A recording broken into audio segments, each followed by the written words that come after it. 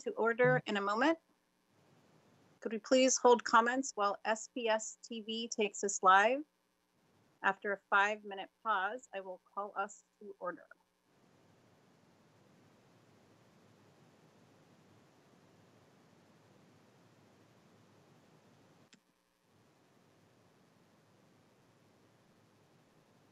This is Director Hampson. I'm now calling the February 10th, 2021 regular board meeting to order at 3:31 PM. This meeting is being recorded. We would like to acknowledge that we are on the ancestral lands and traditional territories of the Puget Sound Coast Salish people. Ms. Wilson Jones, the roll call, please. Director DeWolf, Present. Director Harris, She may be with us a few minutes late. okay, uh, Director Hersey. Director Hersey, Oh, sorry, and he, he also may be a few minutes late. Director Rankin, I'm here. Director Rivera Smith, Present. and Director Hampson. Here. Superintendent Juneau is also joining us for today's meeting and additional staff will be briefing the board as we move through the agenda. As we begin this meeting, I would also like to welcome Kira Bloomhagen, who is joining us as the student representative from Ingraham High School and Seattle Skills Center today. We'll be hearing from Kira later in the meeting. This meeting is being held remotely per the governor's proclamation prohibiting meetings such as this one from being held in person. The public is being provided remote access today by phone and through SPS TV by broadcast and streaming on YouTube. To facilitate this meeting, I will ask all participants to ensure you are muted when you are not speaking. Staff may be muting participants to address feedback and ensure we can hear directors and staff. I will now turn it over to Superintendent Juneau for her comments. Thank you, President Hampson, and good afternoon, directors. Um, I'll just share a quick update on our in-person reopening planning um, so far. Uh, Dr. Clover Codd, Dr. Pedroza, and Chief Berge continue to negotiate the working conditions with our labor partners, the Seattle Education Association. Um, at this time, the current MOU that was negotiated back in August 2020 is still in effect and will remain in that way until, uh, of course, until there's a new MOU. I just want to thank everyone um, who is at the table working toward an agreement. It's really hard work, and I appreciate all of those efforts. Chief Jesse and the health service team continue work to keep the safety protocols for staff and students up to date with the most recent information from the Department of Health. Currently, we have childcare in 50 of our schools, and as you know, that has been ongoing for a while and students receiving individual instruction per their individual education plans are um, in school in 46 of our schools. Um, there have been 102 confirmed COVID 19 cases of SPS staff, students, and volunteers, but we have not seen any widespread transi- transmission of COVID 19 in our schools. Um, these isolated cases of infection merely reflect what we would expect given the high level of, commun- of community transmission. And this low rate really is because of the amazing work of our health team and the strong protocols that they've been able to put in place. Dr. Scarlett and her curriculum assessment and instruction staff continue to work with school leaders to ensure our students receive the high quality education called for in Seattle Excellence. This team is creating schedules for students and staff once we return to in-person instruction for pre-K through first grade and so just want to thank that team as well for their focus on the work in the strategic plan. Dr. Pedroza and the special education staff continue to support students and staff, and they are super committed to serving students in the intensive pathway models in person very soon. Um, Dr. Pedroza and the athletic staff are also working to lift high school sports later this month. We know that physical activity and social time is so important to the mental well-being of our students and we're hopeful also to have some middle school sports start in March and I've also heard whispers that um, unified sports are also visiting about uh, maybe coming back. all athletics will follow the safety protocols to mitigate and manage the spread of the virus. Chief Bush is keeping childcare providers are, you know, they are all the heroes that immediately jumped into action to support essential workers and other families last spring and other community partners up to date about our return to in-person instruction. Chief Podesta, the capital planning and facilities teams are in schools right now, ensuring that necessary signage is in place, that desks are set up appropriately, that air is circulating properly, and that our buildings are ready to welcome staff and students back into classrooms.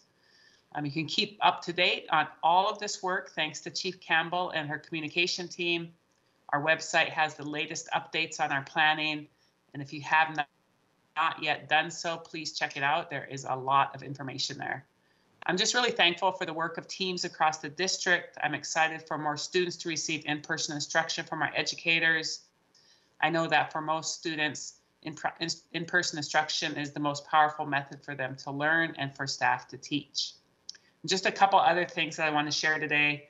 Um, during winter months, we know that utility outages occur, and we recently suffered one of those when all the electricity went down um, in different pockets in the city. And that really does interfere with remote learning.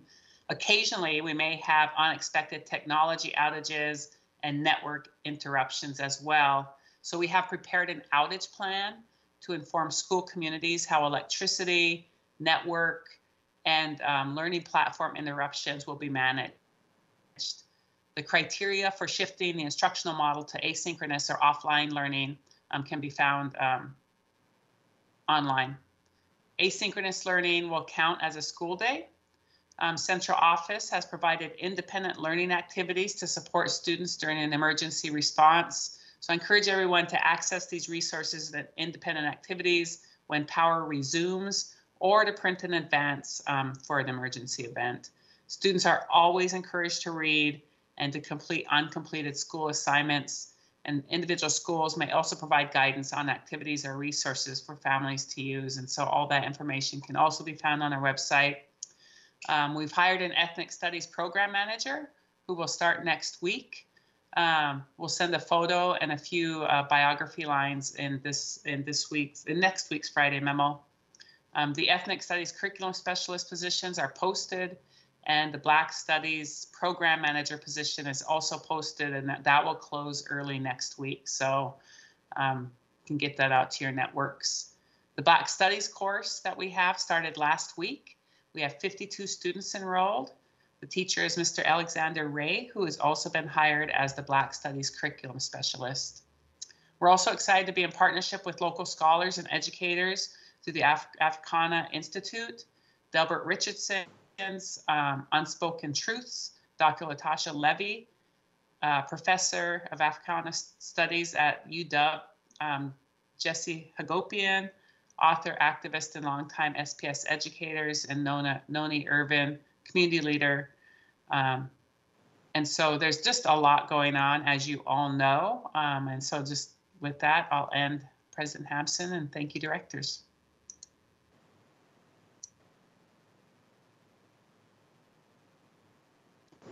Thank you.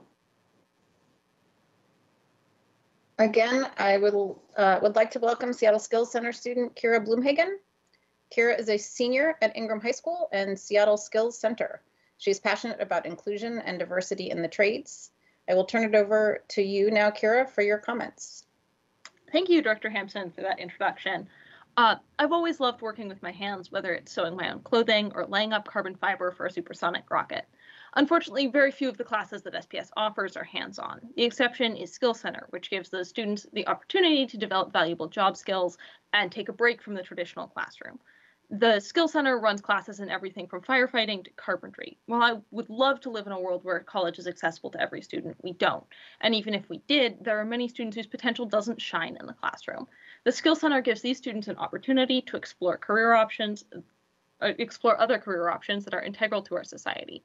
Without people working in the trades, it's impossible to get a car fixed or a house built. Unfortunately, these trades struggle to find an incoming workforce, workforce due largely to schools' focus on sending schools or on, on sending students to college. I didn't have anyone in school mention that we could pursue electrical work or carpentry as a career until I came to the Skills Center. Contrary to popular belief, work in the trades is a living wage is living wage work that can pay well more than jobs requiring a college degree, and even jobs in engineering or other white collar fields. In addition, the training and education period is all paid as an apprenticeship or another entry level position, as opposed to sending students into debt with college. While the Skills Center isn't paying students monetarily, it is providing an essential service, both in training the students and to the community. In the construction class, when we can be in the classroom, we build tiny houses for the Low Income Housing Institute to house homeless folks. The Seattle Times declared LIHI's tiny house villages to be the most effective immediate solution to the homelessness crisis. The Skill Center service to students and the community is provided free of charge, meaning that it can make the most difference to the most disadvantaged students. One of the things that makes the Skill Center so accessible is that the administration is set up to help every student succeed, including free uh, and timely transportation to and from their home school. I know this board is focused on equity and supporting the Skill Center and alternative education programs like it is an important way to help ensure that all students can be successful in career and life. For those watching at home, the application for next year is open now, and I would strongly encourage every student to con consider the opportunity it provides, whether or not you intend to pursue college in the future. Thank you for the time to speak today. Thank you so much, Ms. Bloom, Ms. Bloomhagen. We've now reached the consent portion of today's agenda. May I have a motion for the consent agenda?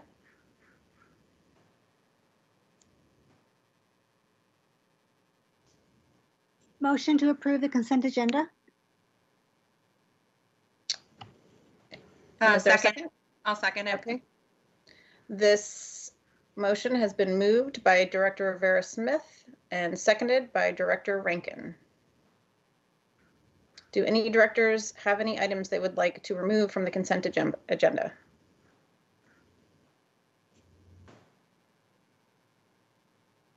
See none, all those in favor of the consent agenda signify by saying aye. Aye. Aye. Aye.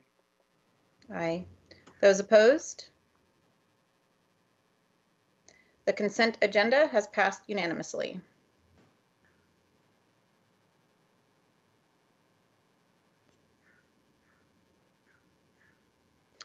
We have now reached the public testimony portion of the agenda.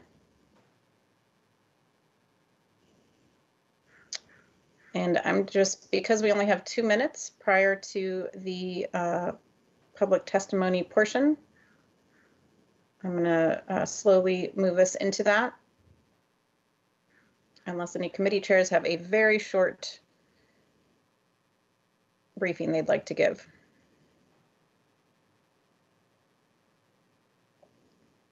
Director Hampson, is this a good time for committee reports? Is that, Sure, if you'd like to make a brief committee report, we can take, ver- we have time for one. yep, very, very brief. So uh, last week, let me just make sure my notes correct here. Um, Last week, we had our February Operations Committee meeting. Uh, Thank you to Directors Rivera Smith and Director Rankin, who are also part of the committee.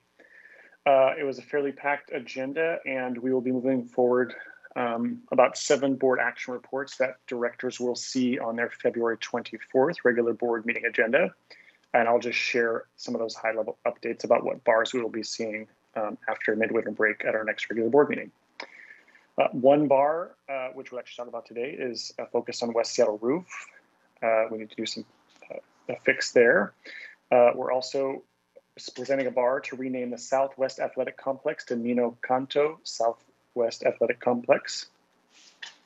Uh, also, very exciting. I know folks will remember last year the directors uh, unanimously approved the resolution affirming our commitment to our LGBTQI plus students, staff, and community.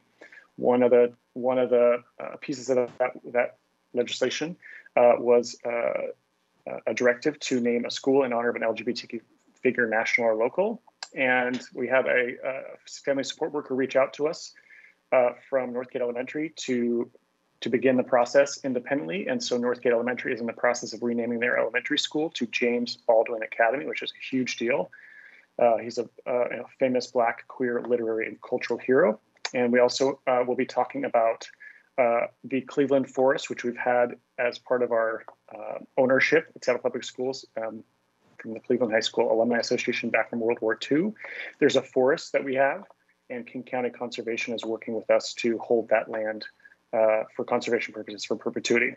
And we'll see those all at our next meeting. And that's all I have. Thanks, Director Hampson. Okay, thank you for that report on the Operations Committee, uh, Director DeWolf, our chairperson.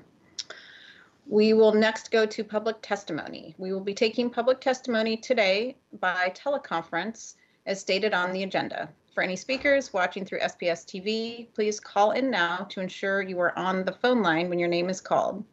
Board Procedure 1430BP provides the rules for testimony, and I ask that speakers are respectful of these rules. I will summarize some important parts of this procedure. First, testimony will take, be taken today from those individuals called from our public testimony list, and if applicable, the waiting list, which are included on today's agenda posting on the school board website. Only those who are called by name should unmute their phones, and only one person should speak at a time. Speakers from the list may cede their time to another person when the listed speaker's name is called. The total amount of time allowed will not exceed two minutes for the combined number of speakers, and time will not be restarted after the new speaker begins. In order to maximize opportunities for others to address the board, each speaker is allowed only one speaking slot per minute. If a speaker cedes time to a later speaker on the testimony list or waiting list, the person to whom the time was ceded will not be called to provide testimony again later in the meeting, as there is only one speaking slot per person. Those who do not wish to have time ceded to them may decline and retain their place on the testimony or wait list. Finally, the majority of the speaker's time should be spent on the topic they have indicated they wish to speak about. Ms. Wilson Jones will read off the testimony speakers.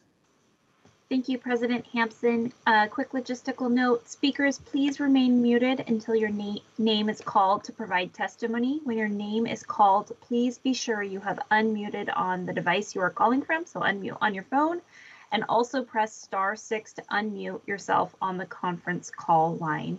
Each speaker will have a two minute speaking time and a chime will sound when your time is exhausted and the next speaker will then be called.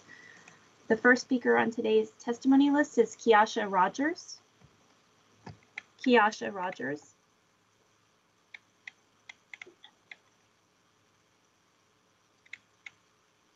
Hello, can you hear me? We can. Okay. Um, I think that you guys uh, changing the school said there is no longer fossil fuels used is a great idea. It would also probably cause other businesses and other people to use less fossil fuels in their businesses. And also, if you guys are going to end up doing this, I have a suggestion, and that is maybe you guys could um, include like a class about like global warming in like science, because a lot of kids and some adults don't believe in climate change or global warming, and that is a big problem. If they don't believe in it, then they won't grow up to believe in it. But if they do, then they will end up growing up to believe in it. And if we cut back on all these things, it'll be less of a problem. And we won't have to worry about the ice melting in Antarctica and everything being underwater.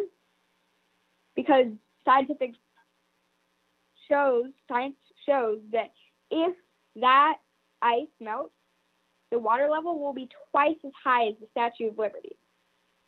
And because of that, nobody would have anywhere to live because they'd just all be homeless because their houses would be underwater. And I don't think anybody wants that to happen. But some people don't believe in climate change, so they don't believe that this will actually happen. But if they do, maybe they'll stop using fossil fuels in their businesses. The smallest things can have a giant impact. Thank you. That is all I have to say. Thank you. Next speaker, Next. please. Next is Joseph Sawaya. Joseph Sawaya. Uh, first, I just want to give a brief shout out to the Billy Frank Jr. Day. Hi, can you hear me? Yes, we can. First, I just want to give a brief shout out to the Billy Frank Jr. Uh, Day, which is going to be considered on the 24th. Great Snoqualmie tribe activist, uh, treaty rights activist. Now I'd like to play in favor of the uh, Clean Schools resolution. Um, testimony by uh, one of our students, and then I'll end with a short song. Here's the testimony. Good afternoon. I'm Estes Roberson, and I am here in support of the 100% climate change resolution as an NYC member and a community member. I implore that all members of the school board stand firmly behind this resolution, or it will benefit us all to think of other energy sources that won't ruin our climate even more. With the influence from the school board, we could gather various departments, community members, or anyone really to move this resolution along faster in this year of 2021. It starts with the schools. I am a fierce advocate for improving the education, and I believe improving the climate will reflect positively on our academic performances.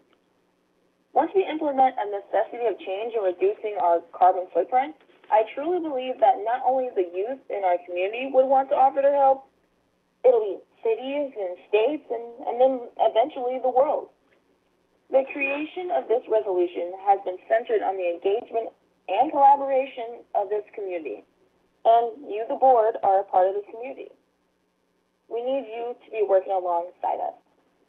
Healthy air equals a healthy mind. Thank you. Good afternoon. I'm Estes Robertson, and I am here in support of the. Sorry, okay, here's the song. We want all clean and green schools, don't want high carbon mean schools. Get rid of fossil fuels for all our kids. You know we need some climate justice. Can't ride no dirty buses. Our planet can't go on no more like this. You know that on natural gas, it's sure a fossil fuel. They're trying to rewash it and play us for a fool, but we can't have it in our schools. We want all clean and green schools, don't want high carbon mean schools. Get rid of fossil fuels for all our kids by 2040 or earlier if we can, and I know that we can. Thank you. Thank you. Ms. Wilson Next. Jones, next speaker, please. Next is Matt Remley. Matt Remley.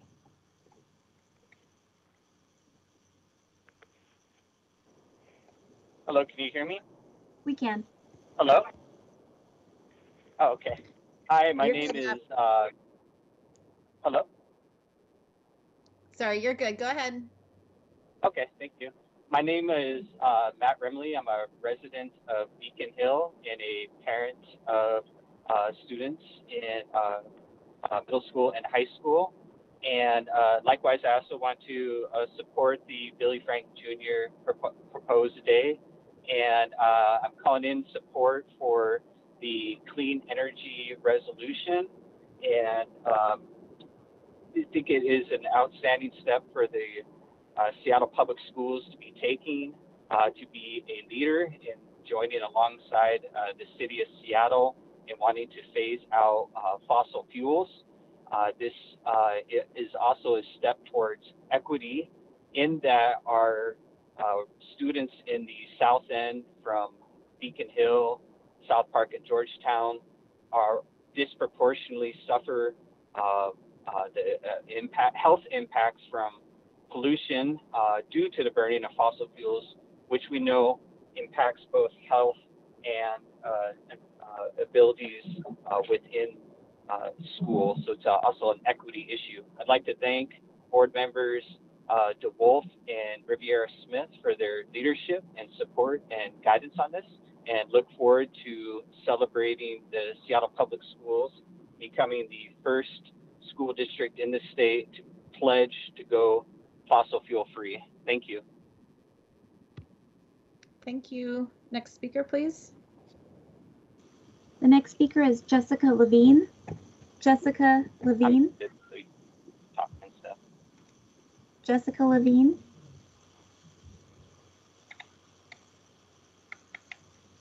Hello, this is Jessica Levine. I'm a rep calling in today to support the school board resolution on climate change and uh, in support of 100% clean schools. I am a teacher in Seattle Public Schools and a daily bike commuter and science teacher in the district for the last 15 years. And for more than 20 years, I have been educating students about climate impacts and the action they can take. And before I continue, can I just have confirmation I'm being heard? You are. Thank you. Great. Um, and uh, it is time in this resolution for the district to seize a unique opportunity in the global pandemic to make significant changes to their own climate actions. My lessons of climate science and actions for students speak loudly when I hear students like those who spoke today. I followed their lead and took a personal day to march with students over a year ago in the youth climate strike that was global. And this is no longer personal. This must be a community action, and Seattle as a city and as a leader in climate action can do so with the district's focus currently at this time with equity. It is high time that the intersectionality of climate justice and environmental justice not only get on the curriculum, but become part of the operations. For more than 30 years, as Greta has told us, and I have studied, the science is crystal clear. Seattle schools needs to step up their leadership into the 21st century. We must listen to our youth.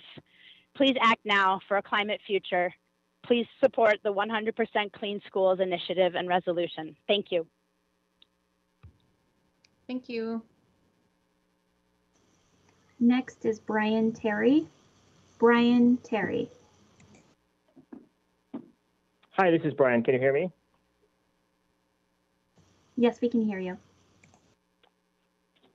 In our schools today, a white student is six times more likely than a black student to be identified as highly capable.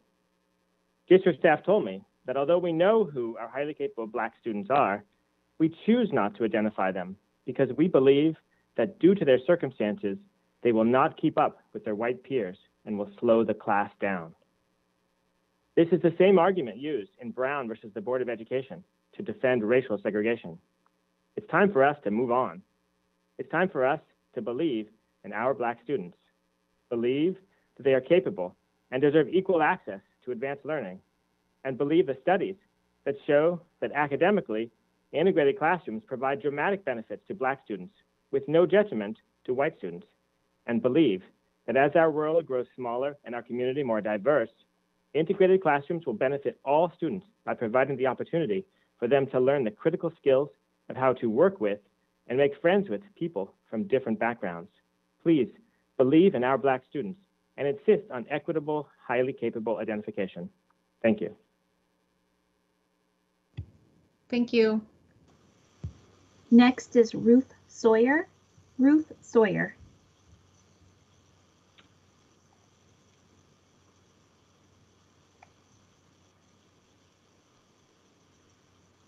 Ruth Sawyer. Hi, can you hear me? We can. Great.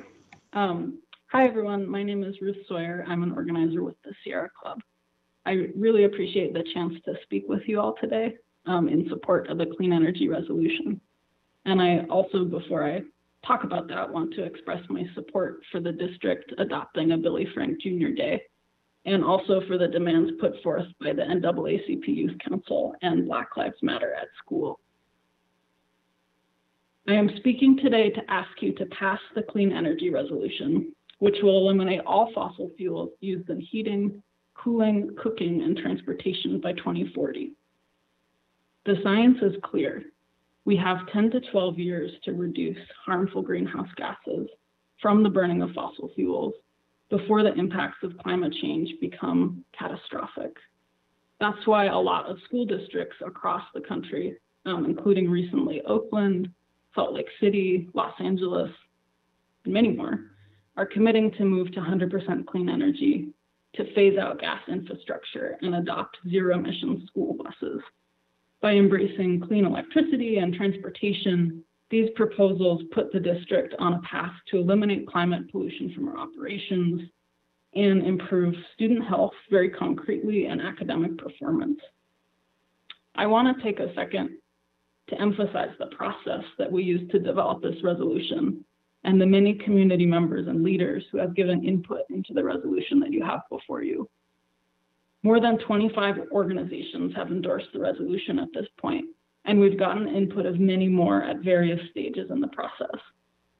I know um, all of uh, you on the board have a list of supporters in the materials, um, and you can also see from that how many people have been deeply involved in shaping the resolution. I also want to add the latest endorsements we've received that are not indicated in those materials. Um, that's from Safe Action Climate Team, Protectors of the Salish Sea, Stand.Earth, Washington Environmental Council, King County Executive Dow Constantine, Fridays for Future Seattle, North Seattle College Student Leadership. Um, and that was the end of the list. We urge you to protect our futures by passing this resolution. Thank you. Thank you. Next is Chris Jackins. Chris Jackins.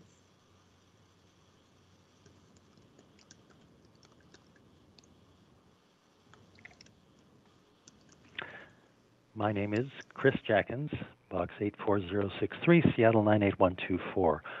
On the West Seattle Elementary Walt Hundley Playfield Parcel Exchange, six points. Number one, this action aims to try to fix a problem caused in 1987 when documents did not get properly filed for a property exchange and the school was built on a portion of the parcel that is still owned by the City Parks Department. Number two, this 30 year old problem was discovered in connection with current plans to build a new school addition. Number three, on January 6th, the district held an appeal hearing related to environmental review of the project. The district did not disclose the property swap problem. Number four, the next week, the district brought the issue to the board's operations committee. Number five, this means that the environmental review process was tainted. Number six, the board should not vote on this issue until the district redoes the environmental review process. Please vote no. On the Northgate Elementary project, five points. Number one, the district proposes to take away the current large grass playfield and shrink play space by 50%. Number two, the playfield land was provided in 1958 by the Isbell family for $300 with the understanding that it would be kept as a park area. Number three, the district has not seemed motivated to address this issue. Number four, given the situation with the botched West Seattle Elementary property swap, it seems that the district may also lack the expertise to address this issue.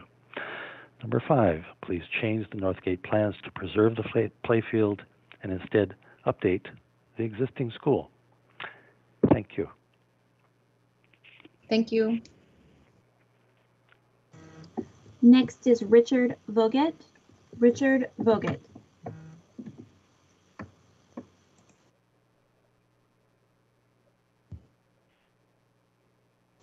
Richard, if you're on the line, you may need to press star six to unmute.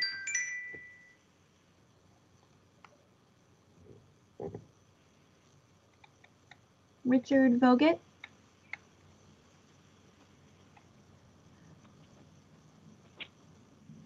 Moving to our next speaker, Sarah Eager Weiler. Sarah Eager or Eager Weiler. Oh, I'm sorry, is that Richard?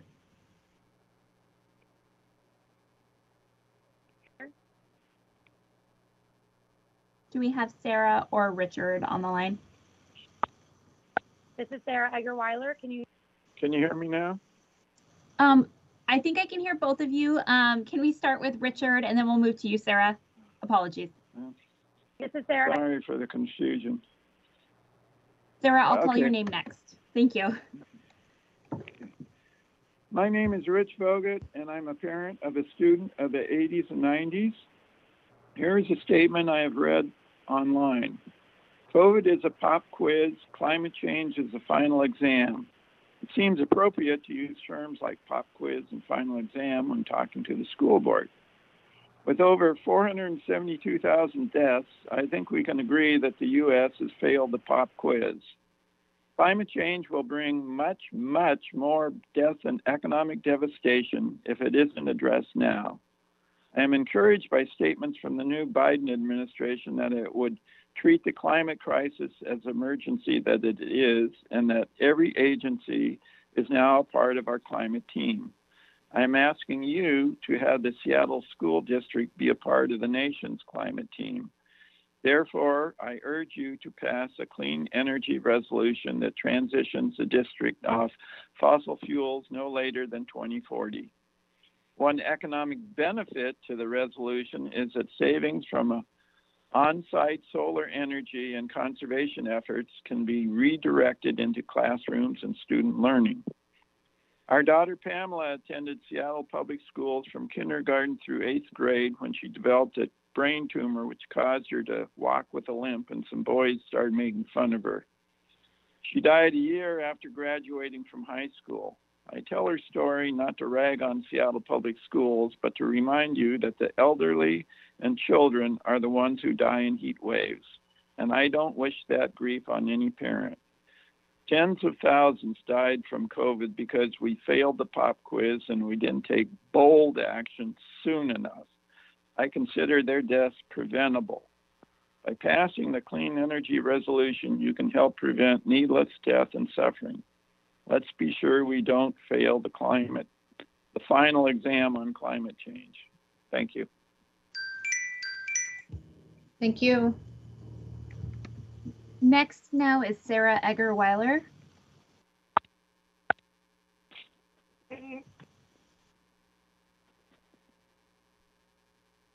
Sarah,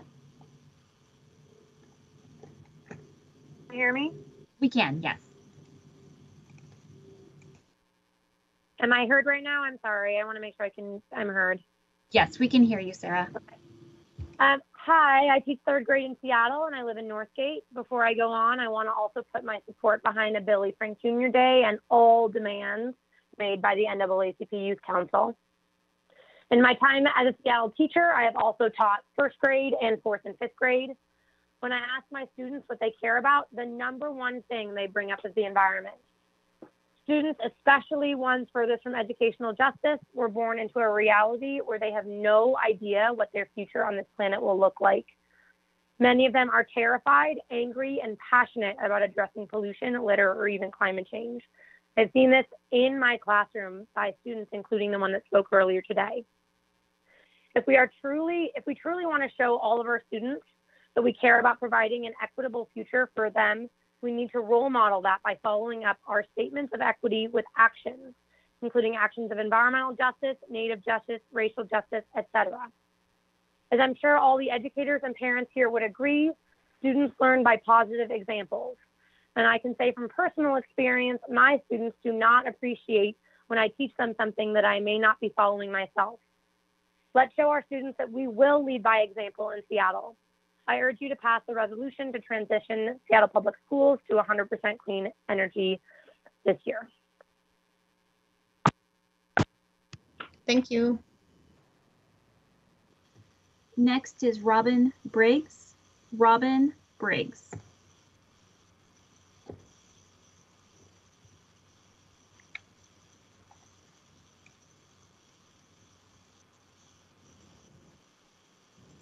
Robin. Hi, can you hear me? Yes, we can hear you, Robin. Okay, great. Um, hi, I also wanted to support the Billy Frank Jr. Day and speak for the um, Clean Energy Resolution. Uh, the Clean Energy Resolution would continue the school's leadership position in sustainability. 100% clean energy seems like an almost insurmountable challenge at the start. I know that for me, as I began to educate myself on the details of how the school buses work, I thought, I don't know how we're going to do this. And as I learned more, I saw opportunities I hadn't guessed at the start and people who are frankly eager to help find solutions. I also realized that there are going to be a lot of subsidiary benefits as well. Electric buses can be ca- parked closer to their routes. Our buses today are driving up from the Duwamish in the morning to start their routes all over the city and then deadheading back again in the afternoon.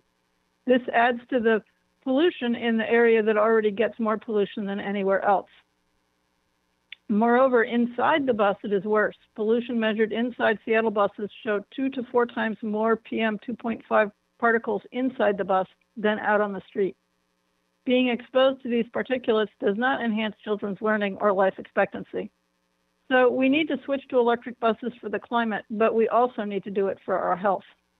And when we do this, the school will see big cost savings on operations. The fuel will cost much less, the maintenance is also much less, And because the buses won't be deadheading as much, there will be savings in mileage and labor and more predictable arrival times. Of course, there will need to be more funding to make this happen, and I believe the state is ready to help on this. There are a lot of moving parts that will need to come together, but I've been very encouraged by all the people I have met who are motivated to make this happen. We will reap big benefits from this. The kids growing up healthier and better positioned to learn in school, the goodwill the school will build for stepping up, and the good example it will set. We'll wonder why we didn't do this a long time ago. Thank you, everyone, for giving me time to speak. Thank you. Next is Sarah Fenton. Sarah Fenton.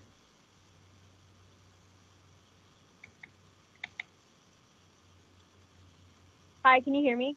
We can. Um, so my name is Sarah Fenton. I'm a student at North Seattle College. Uh, last year I served as the um, student body president, and this year I currently have the opportunity to mentor um, our ASB president, which happens to be a student at Nathan Hale High School. Um, I share this because although I didn't receive my uh, education through public, um, through Seattle Public Schools, I believe that SCS and Seattle colleges um, share community in significant ways. Um, my first summer in Seattle, I was enrolled in a particularly difficult chemistry class, and about two weeks before my finals, as a result of increasing temperatures, uh, wildfires around the state pushed an incredible amount of smoke into our area. As someone with asthma, uh, being functional during those two, uh, those last two weeks of my quarter was difficult, and it significantly impacted my performance in my class. Um, I found my home in Seattle, and when I envision the next 20 years, I want to believe in a future in which my children can participate in learning and life being unburdened by extreme fear due to climate change, which, as it stands now, is an ex- existential crisis. I'm speaking today to urge you to pass the Clean Energy Resolution. Um, all of the student go- governing bodies at North Seattle College enthusiastically endorse this resolution. Uh, we believe it's one of the most consequential, compassionate, and strategic moves you can make on behalf of our shared community. Um, we are currently looking at this resolution as a guiding light for pushing for similar resolutions at our institution. Um, I urge Seattle Public Schools to vote yes on this resolution because it not only says something profound about who we are as a community right now, it says something even more consequential about who we can be in the future. Um, given how interconnected climate justice is with Native communities, I want to share my belief as well that adopting a Billy Frank Jr. Day is a strong move towards supporting Native students. Thank you. Thank you.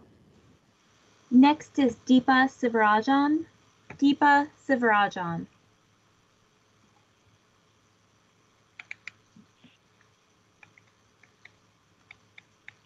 Hi, can you hear me? We can. Thank you. Um, my name is Deepa Sivarajan, and I'm the Washington Policy Manager at Climate Solutions, a clean energy nonprofit advocating for policy solutions to the climate crisis. I'm also a former Seattle Public School student from West Seattle, although I graduated quite a while ago. Um, we uh, strongly support this clean energy resolution, which commits the school district to going fossil fuel free by 2040. Um, we thank board directors uh, Lisa Rivera Smith and Zachary DeWolf for bringing this resolution forward and taking strong leadership on curbing greenhouse gas emissions and air pollution for the students, staff, and teachers at Seattle Public Schools. This resolution is timely. Seattle already faces major climate change impacts, including higher annual temperatures, increased smoke from wildfires, declining snowpack and greater drought risk, and more. We need to take bold action, and Seattle Public Schools has an important role to play in reducing the, green, the district's greenhouse gas emissions, which will help the city's goal of carbon neutrality by 2050. Transportation and buildings are the two largest sources of greenhouse gas emissions in Seattle due to the use of gasoline and diesel to power vehicle, vehicles and the use of natural gas and oil to heat and power buildings. These fossil fuels, as many other folks have mentioned, also increase air pollution, which has um, a disproportionate impact on communities of color, in part due to the historical impacts of segregation and redlining that have led folks to be pushed to live in places like South Seattle that already have greater exposure to air pollution. The good news is, like Robin Briggs mentioned earlier, research shows that school districts that have low, lowered their diesel and gas emissions from fossil fuels have seen improvements in student health and overall learning outcomes. By passing this resolution, which would move the district's buildings and vehicles off fossil fuels, the board has the opportunity to protect the health and safety of students, staff, teachers, and more, as well as working to mitigate climate change. And I just want to add as well that, um, as many other speakers have mentioned, um, in keeping with a commitment to uh, Native justice and Indigenous justice, um, we also support the, the Billy Frank Jr. resolution and are happy to see that coming forward today. Thank you. Thank you. Next is Heather Price. Heather Price. Hello? We can hear you, Heather.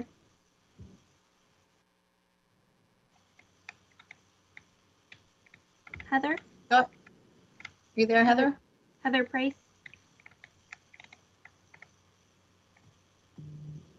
Hi, um, I'm uh, Dr. Heather Price, and I'm calling in support of the Clean Energy Resolution and also to support um, the Billy Frank Jr. Day. Um, so I'm a parent. I'm also a climate scientist and chemistry professor, and I've mentored Nathan Hale High School students in their uh, climate action days uh, the past uh, two years. Uh, my PhD is in chemistry, and I focused on air pollution, and my postdoctoral research is in atmospheric chemistry uh, from University of Washington's program on climate change. And I first want to start off by saying that as a scientist and an educator, I don't believe in climate change.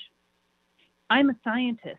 I understand the science and I understand the impacts of fossil fueled climate change on what's happening right now in our world and what our children and our communities, particularly those that are most vulnerable, are going to be facing and are already facing, such as the summertime smoke that we're seeing.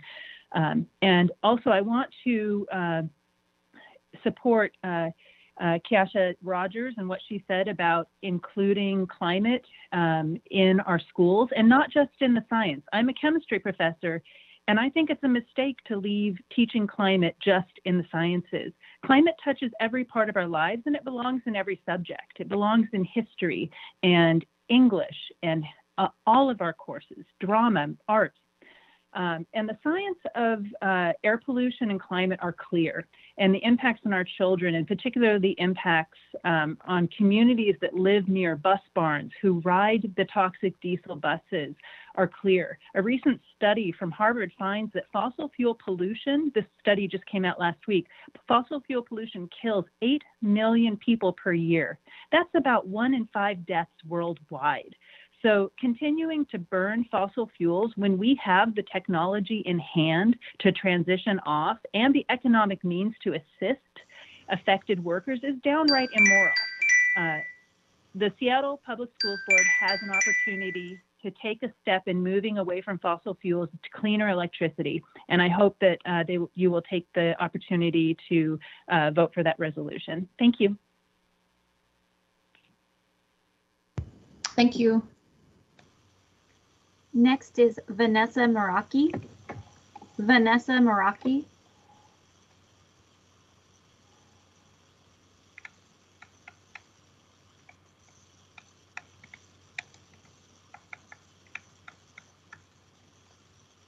Vanessa Maraki. You may need to press star six to unmute on the conference call line.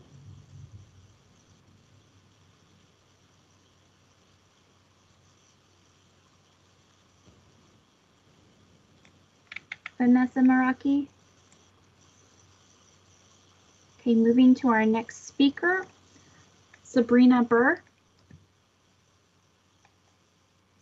Sabrina Burr.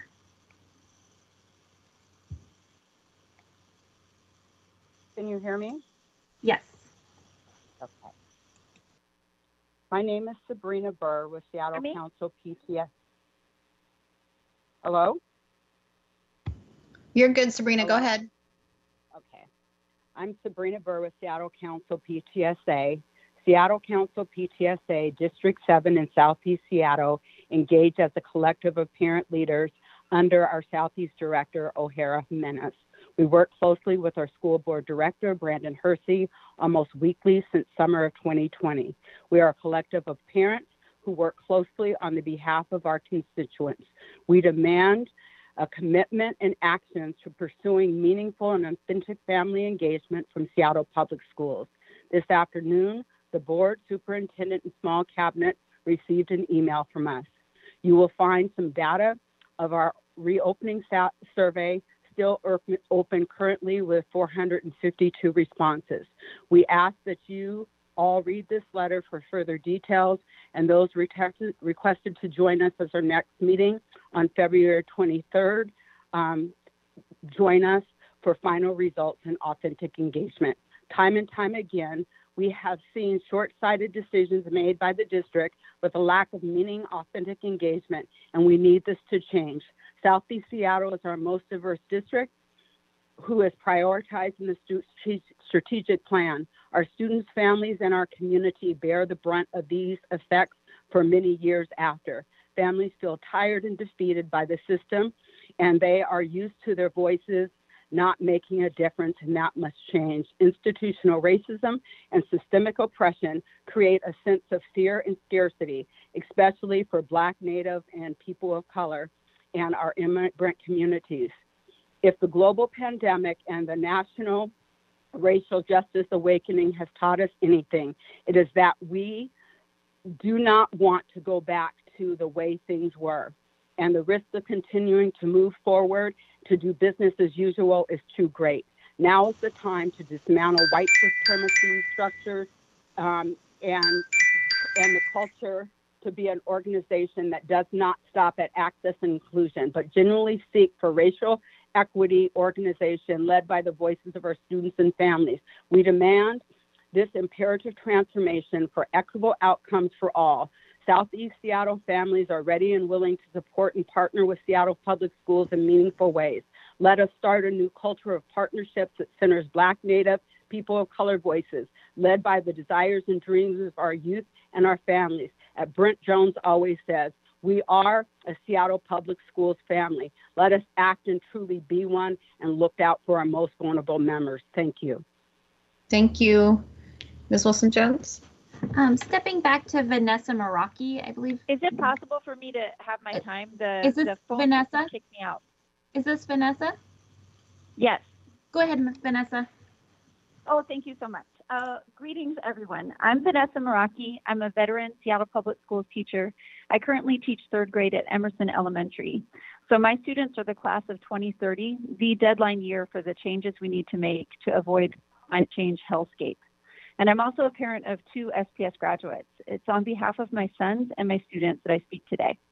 I would like to thank Directors Rivera Smith and DeWolf for bringing forward the Clean Energy Resolution and urge the board to pass it unanimously and implement it without delay. This represents the minimum SPS must do to meet its moral obligation to this moment. This resolution must be just the beginning. We need to back up resolutions with leadership and infrastructure. A fierce commitment to sustainability and climate action must be a litmus test for the new superintendent. And we need to hire a director of sustainability for the district.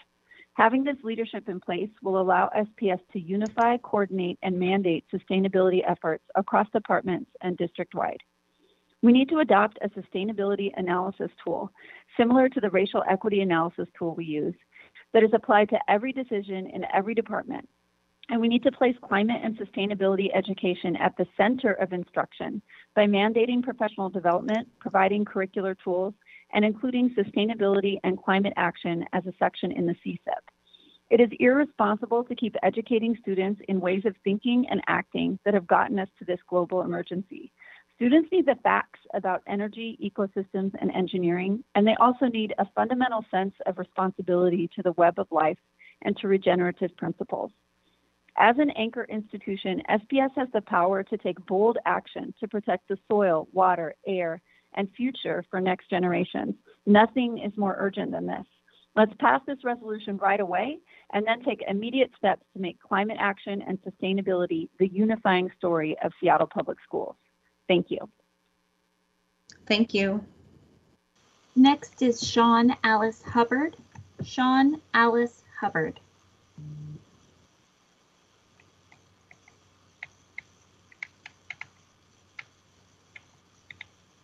Hello, my name is Sean Hubbard. My sisters and I were students at Northgate Elementary in the late 50s and 60s. Our mother still lives in our family's home, which shares the same block with the school. I and others recently testified at the hearing to appeal the DNS for the Northgate School Replacement Project. We are requesting an EIS because we know that the impacts will be significant and we are the ones who will have to live with them. On this project, we neighbors and taxpayers have had scant say in what happens in our own backyard. A late in the game SEPA appeal is not a stellar example of community engagement.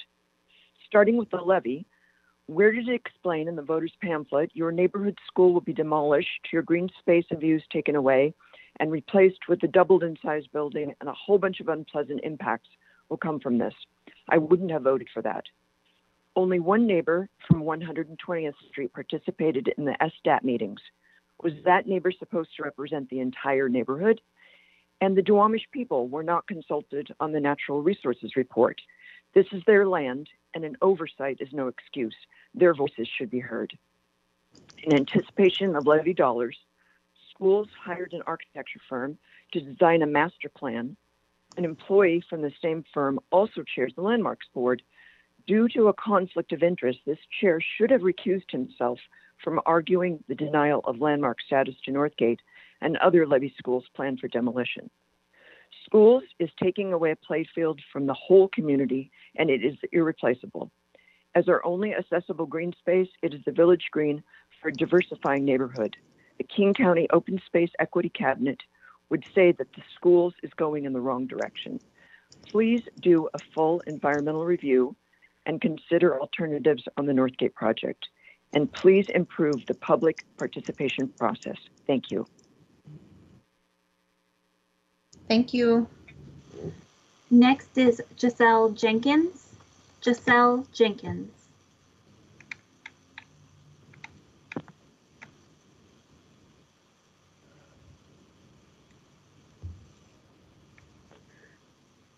Hello? We can hear you. Okay. Hi, I'm Giselle, a sophomore from Ingraham High School and a descendant from the Aleut tribe. I believe SPS needs to make a change, namely to increase representation and celebration of Native Americans within their schools. Having Billy Frank Jr. Day celebrated in my school would bring a great deal and change needed by recognizing and honoring a Coast Salish hero who did a great deal of indigenous community here for the indigenous community here in Washington. Interns from UNEA created a petition to advocate for SPS to recognize and celebrate Billy Frank Jr. Day officially every March 9th. These are some of the reasons community members provided for why they signed the petition to pass Billy Frank Jr. Day. I'm signing this because Billy Frank Jr.'s courage to fight for treaty rights, environmental revitalization and conservation, tribal sovereignty, and social justice. We must protect the sacred, and the Indigenous people must lead. Representation matters, even more so that the Indigenous members of our community who are so often ignored, erased, derided, and derided. This action is being asked of us by the Indigenous youth. It is not enough, but it is a start. We need to do better to listen from those whose lands we occupy. It is important to recognize, pay tribute to, and learn from the indigenous community that has shaped our country and the PNW in particular. Billy Frank Jr. Day to me represents a pioneer who brought salmon to my dinner table. We should all be grateful for his efforts we depend on today. My hope is we continue to foster his beliefs to our young so they can provide sustenance for the people tomorrow. Billy Frank Jr. is a modern day hero, and we all need to know his dynamic leadership and activism. I, Giselle Jenkins, urge SPS to listen to the words of the community to support this effort. Thank you. Thank you. Next is Sarah Sense Wilson. Sarah Sense Wilson.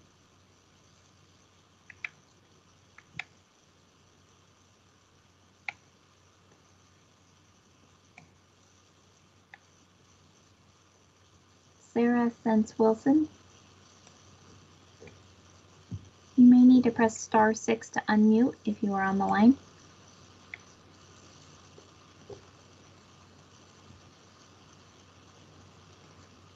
Sarah Sense Wilson, if you want to press star six one more time, sometimes it takes multiple tries.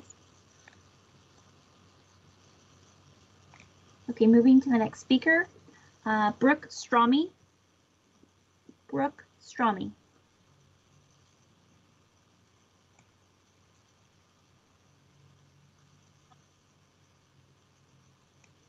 That Brooke?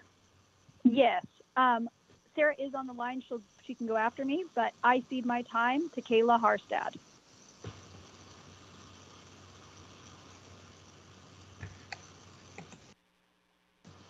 Go ahead, Kayla. Hello? Is that Kayla? Um, yeah, can you hear me? We can, yes. Go ahead. Hi, I'm Kayla Harstad. I'm Turtle Mountain Chippewa and Assiniboine Sioux. I'm a junior here at Ingraham, and I'm here to advocate for Seattle Public Schools to designate March 9th as Billy Frank Jr. Day. I would love for my culture to be celebrated through a person who is seen as inspiration to this day. I want to feel the joy and pride of one of our heroes being celebrated school-wide on an annual basis. I want to be taught about Indigenous resilience and contribution, success, and triumphs. Not only should this day be celebrated by Indigenous students, but other communities as well. The Billy Frank Jr. Day resolution, which was crafted by UNEA Youth and Internship Leadership, calls for supporting the designation of March 9th as a day of remembrance, celebration, and recognition in honor of life, legacy, and achievements of Billy Frank Jr. and Nisqually Nation. Billy Frank Jr.'s courage and dedication to fight for treaty rights is an inspiration to many across the nation. It is important for more people to know about Billy Frank Jr. and his story.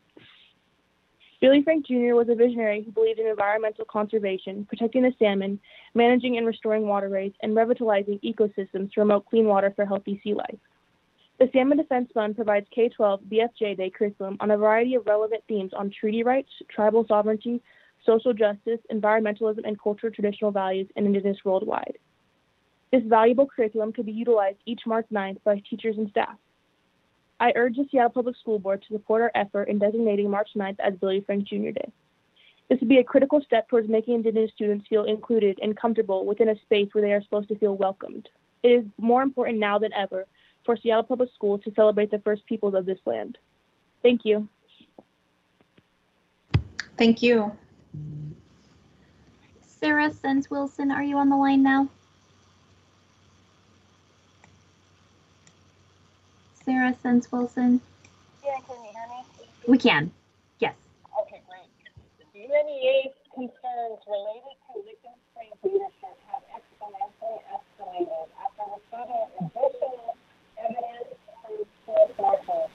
We've suspected and anticipated problems leadership given the documented record of inappropriate abuse of power and direct harm against black and brown students, families, and communities. Licton, or uh, Licton Springs Native Focus K-8 option school has historically supported a significant number of special ed, foster, adopted, unsheltered students of color and was a magnet school for urban American Indian students. We are in utter dismay. SPS would reward demoted bad actors back into leadership at a Native focused alternative school. Demoting and rewarding incompetent leaders who abuse power in of black and brown students, staff, and community helps explain why SPS has become a national model of public failure. We have been receiving a steady stream of evidence that this bad actor continues abusive practices at Licton Springs. There's a significant number of exodus um, of valued, experienced, and cherished educators and staff and BIPOC students from Licton Springs. Racist leadership results in bad outcomes for BIPOC students. SPS board is intent on eliminating option schools. We are seeing an aggressive dismantling at the hands of elected public leaders. Our children are sacred. Our families matter. And our communities unwilling to step aside while you experiment with your misguided theories and colonial practices. We will mobilize and we will take back our public education system. Thank you. Thank you. The final speaker on today's public testimony list is Rima Mera. Rima Mera.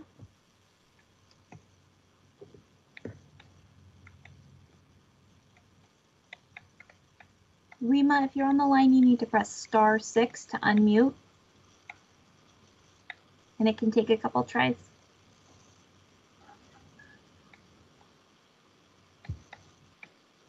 Rima Mera.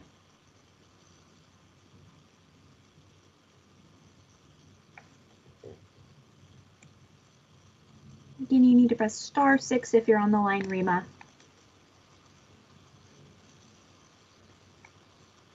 President Hampson, that was the final speaker on today's list. Okay, just pause momentarily in case Rima uh, comes up as I move into the next part of our agenda.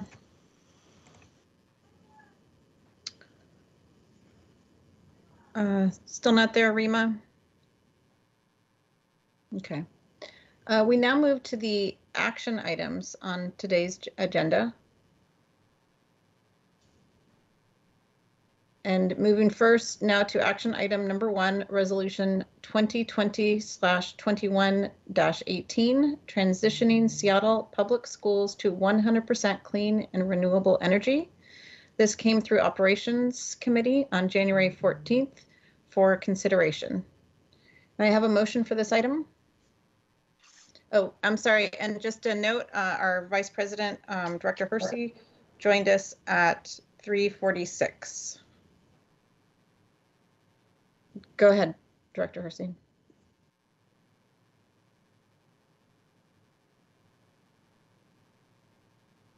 Director Hersey, are you there?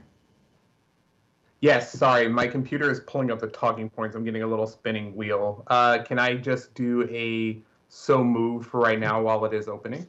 Oh, well, uh, Director Rivera Smith, can you make the motion?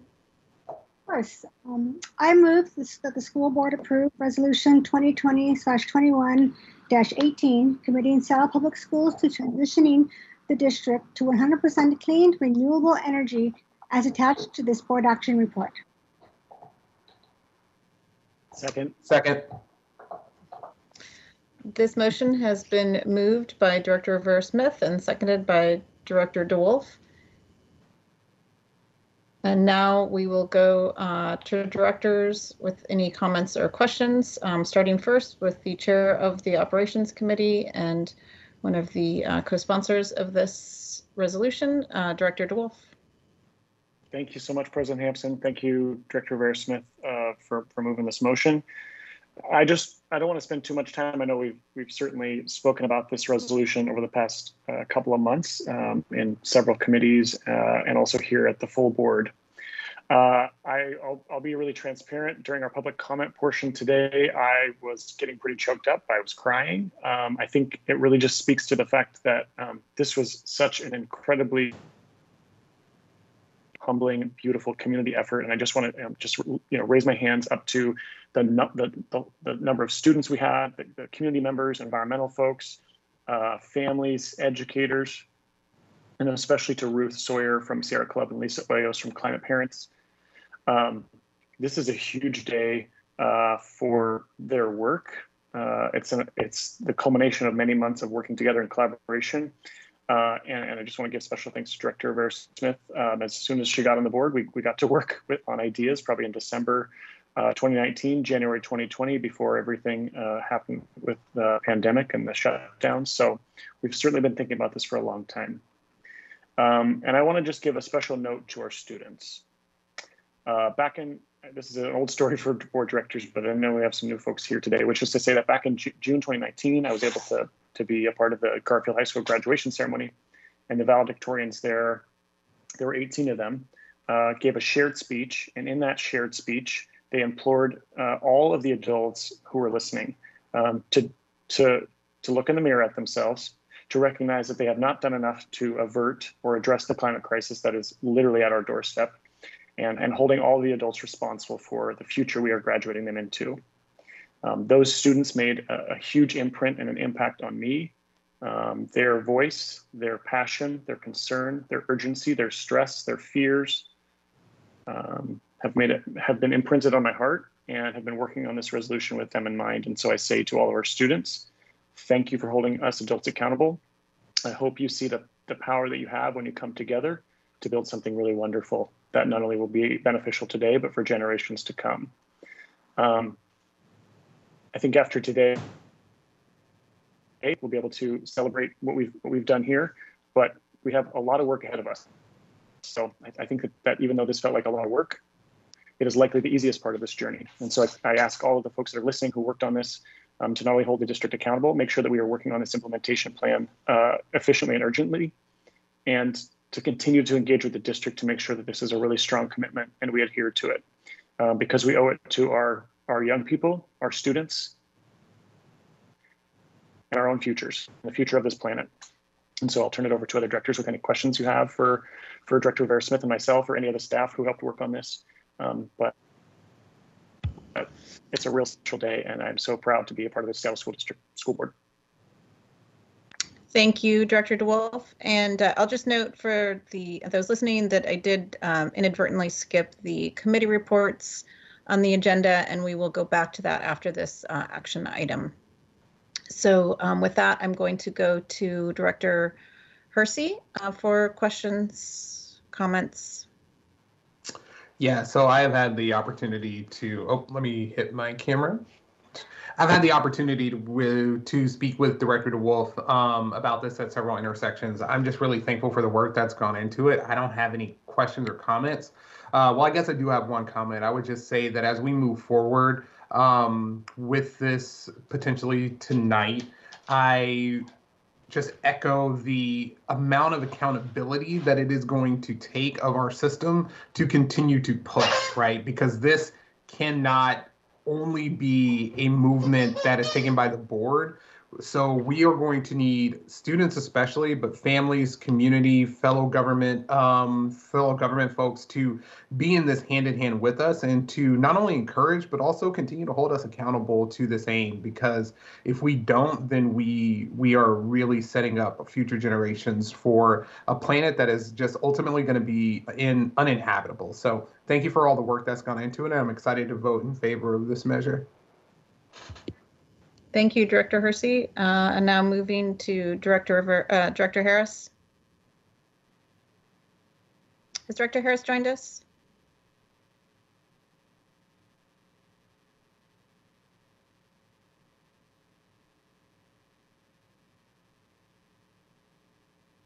Uh, so we'll go next to Director River, uh, Director Rivera Smith. Do you want to? I know you're co-sponsor, but please uh, go ahead with your comments or Hi, yeah, no, I definitely uh, support it all the way. It's been an exciting process to work with community to make this resolution happen and bring it to here, bring it to the board um, for action tonight. Um, you know, it's it's the community who spoke tonight couldn't have said it better. I really appreciate everyone who came out to support it and show that this is a commitment that we're all excited to be making and to lead the way as we as we heard um, somebody kind of shared there even Seattle Colleges is looking to do a resolution similar to this to join other school districts such as um, Oakland Unified School District, Los Angeles Unified School District, and Salt Lake City. So um, we're joining a good crowd and we're making this happen tonight. Hopefully, I, I really appreciate um, Director DeWolf's um, leadership in this um, and Sawyer from the Sierra Club, uh, Lisa Orios, Climate Parents, and all the fact we had staff, students, community members all taking part in this, and it's been it's been remarkable. And uh, thank you all for your support. And that takes us to Director Rankin. Hi, um, I will just say a huge thank you to my colleagues for um, bringing this forward and um, bringing so many community members into this process uh, is really um, an exciting uh, showing that you know we as board directors are here to represent the community. And so it's always really exciting to see when it kind of you know comes forward the way that it should in collaboration and in partnership with community members. Um, i think you know a lot of our our testimony speakers said said it best um, why this is so important.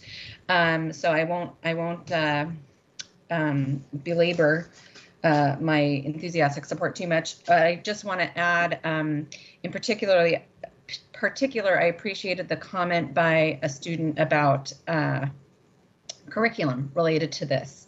Um, this is a really exciting opportunity, uh, you know, to make sure that even though uh, operationally transitioning to clean and renewable energy is a huge benefit to our students uh, the you know the the meaning and impact that it has for them in their lives and as as future adults and as current students is uh, we, we have uh, exciting potential to connect, uh, you know, students to their physical place and also their physical building. I think any any opportunity we have to sort of show our students um, and uh, how um, things work in their building. I mean, the thermal thermal energy that's happening in some buildings is really exciting, and I I hope that students that are at those schools understand how that works and why it's exciting and and why it's important and um, kind of any any way we can make that more more transparent and accessible to students um, in addition to the greater community is really exciting so uh, just huge thanks and um, this is definitely the right thing to do at this point in time and um, going forward Thank you, Director Rankin. Okay, and unless uh, Director Harris has uh, since joined us, um, that comes to me for comments and questions. And uh, I, as I stated in our prior meeting when this came through for intro, I really appreciated the opportunity as a director to connect uh, directly with uh, community um, that were engaged in uh, working with directors to put this together. Um, it was a very uh, um, productive and engaged conversation, and in particular, appreciate um, the the aspects that we talked about that were priorities for me as it pertains to this, um, relative to procurement and the um, the concept of uh, place-based learning and the role that that that that plays, um, and extending the notion of of this. Um, uh, getting to this more conscientious place beyond just what we do within Seattle Public Schools, but to those that we interact with, and and um, um, that gets really does get us to the mindset that um, we need to have um, when it comes to uh, how we utilize the resources around us to sustain ourselves. So. Um, so hands up to all of you, um, as they say in Coast Salish country um, for this very, very good work. Uh, Pinagigi um, from um, uh, in my Ho Chunk language. And then I do have one question, and then also need to. Um, I know Director DeWolf has a couple of additional people. I know he wants to add to the to the bar so that they're uh, memorialized in this work. Um, and then my my one question is, um, it's, it's a it's a question um, that is probably most likely answered in the context of the task force, but I, I hope that you'll um, hear it and consider it uh, going forward. And that is that the way that the fiscal analysis reads, um, it has a lot of uh, really big numbers relative to the transition, the, the actual cost of transitioning to a different way of, of utilizing energy. And what I would encourage you to do is to look at that going forward um, for the task force to make sure that those things are always brought back to the board in terms of any additional cost.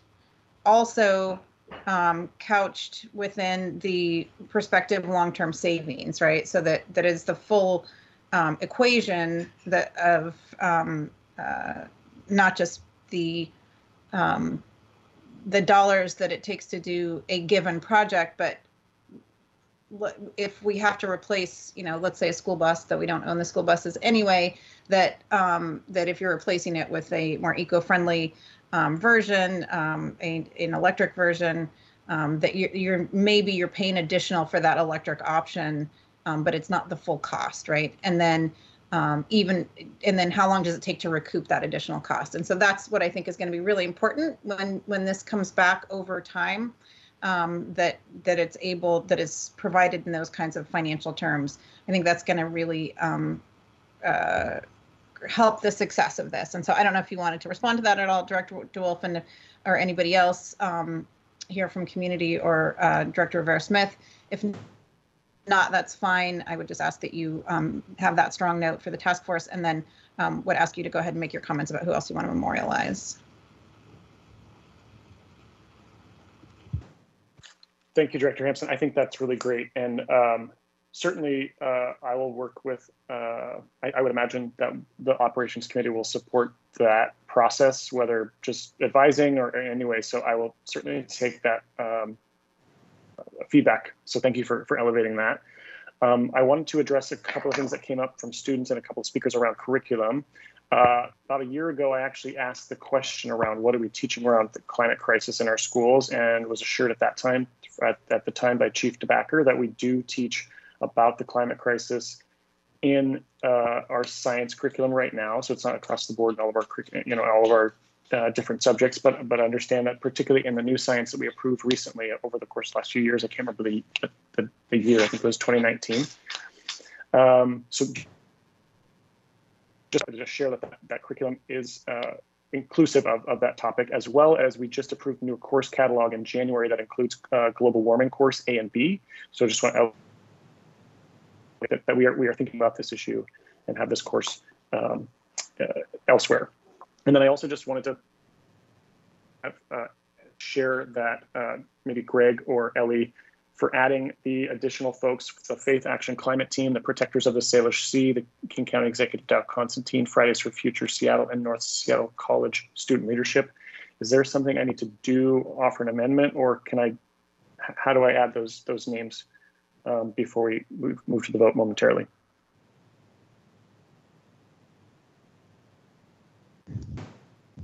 Uh, Ellie, do you want to take that? If, if, if these are being added to the version that was posted, uh, it seems that just an amendment uh, listing them and indicating where they go would be in order for the version that's passed in this meeting. Do you agree with that? Um, D- Director DeWolf, are these uh, additions to the board action report? Yeah, So just when, correct. They, these are just new folks that have um, so one note for you is that we don't, um, at the end of a, an amendment, um, in, sort of engross the changes in the board action report. So um, you could offer it as amendment uh, to the board action report, and then the record of that board action report will be the minutes plus what was posted. Um, you could also, um, if you want to, uh, you know, recognize the contributions of those organizations. Also, just ask that your comments be included in the minutes. So, so either way. I guess I wasn't clear if it was going in the resolution or the, the board action report. It's just the bar. Just the Oh, bar. okay. All right. No, then, then what Ellie said. Sorry. Oh, okay, so I would just, can I offer an amendment to add these five names to the bar? Is that okay, President Hampson? Yep, go ahead. Okay, I move to add Faith Action Climate Team, Protectors of the Salish Sea, King County Executive Dow Constantine, Fridays for Future Seattle, and North Seattle College Student Leadership to the board action report under the community engagement section, specifically along with the other organizations and individuals listed who endorsed this resolution. Can I get a second for that Second. amendment? Second. Okay, this amendment was uh, mo- moved by Director DeWolf and seconded by Director Rivera Smith. I believe you have the text in a um, written form, um, Director Wilson Jones. I do, yes. Okay. Um, and let's see, can I do all this in favor or do we need a roll call on the amendment? I can call, I can call the roll on that for you. Okay, thank you. Uh, Director DeWolf, Aye. And then I do not believe we have Director Harris with us yet, so Director Hersey, Aye. Director Rankin, Aye. Director Riv- Rivera Smith, Aye. and Director Hampson. Aye. The amendment has passed unanimously. And so just a reminder, um, you will at the end of the process need a new motion to move the underlying item as amended. Yes, and I believe we are ready for that. So Director um, Hersey, would you mind moving the uh, motion as amended? Yeah. Um. Can again. So like I've got the original motion here. Can I just say as amended because I'm not Yes. sure what the names are. Okay. So I move that the Seattle School Board approve Resolution 2020-2118, committing Seattle Public Schools to transitioning the district to 100% clean, renewable energy as attached to this board action report as amended. Second. Okay, this amended motion has been made by Director Hersey and seconded by Director Rivera Smith. Ms. Wilson, please call the roll. Director DeWolf, Proudly, yes. Director, um, we do not have Director Harris, Director Hersey, Yes. Director Rankin, Absolutely, yes. Director Rivera Smith, Yes. Director Hampson. Aye. This motion has passed unanimously. Good work, congratulations. Okay, um, you, and so now I'm going to move us back to um, our committee reports. Uh, Thank you, Ms. Wilson Jones, and we'll go next to, we already heard from operations, so we'll go next to curriculum and instruction. Student supports curriculum and, and instruction Dir- Director Rankin, committee chair. Thank you. Um, so we had our uh, February committee meeting on the second of this month, and I'm just gonna kind of go through and kind of hit the hit the high points. Um, we are continuing to uh, get updates and opportunities to uh, give feedback on the Student Rights and Responsibilities Handbook um, for next year. And again, I want to express my appreciation to staff for um, uh, continuing to bring that to committee uh, earlier than has been done in the past and more frequently. It's really great. And uh, just a reminder to my fellow directors, and I'm happy to forward you the materials again that um, you know we'll be voting on this eventually. So now's the time to look over it and see if there's anything that that you uh, want to talk about. Um, we also, in the consent agenda, just approved the uh, highly capable um, highly capable plan for the current year, and that is a, uh, a requirement by the state to be funded. So the the state requires um, or considers uh, highly capable uh, services uh, basic education, and so we have to submit uh, uh, the outline of how those services are being provided um, to the state every year. It's not a plan for the future. It's sort of a current and, and backwards look a little bit. But the reason I bring that up is is because um, I just wanted to especially thank and recognize staff for um, in the update that they gave us talking about uh, work being done to um, identify better ways, uh, more equitable ways to um, identify highly capable students, and also make a special note that uh, uh, of appreciation for staff connecting with um, families who are currently being served in the cohort um, as uh, changes to the program are being made to make it more accessible to more students in more places.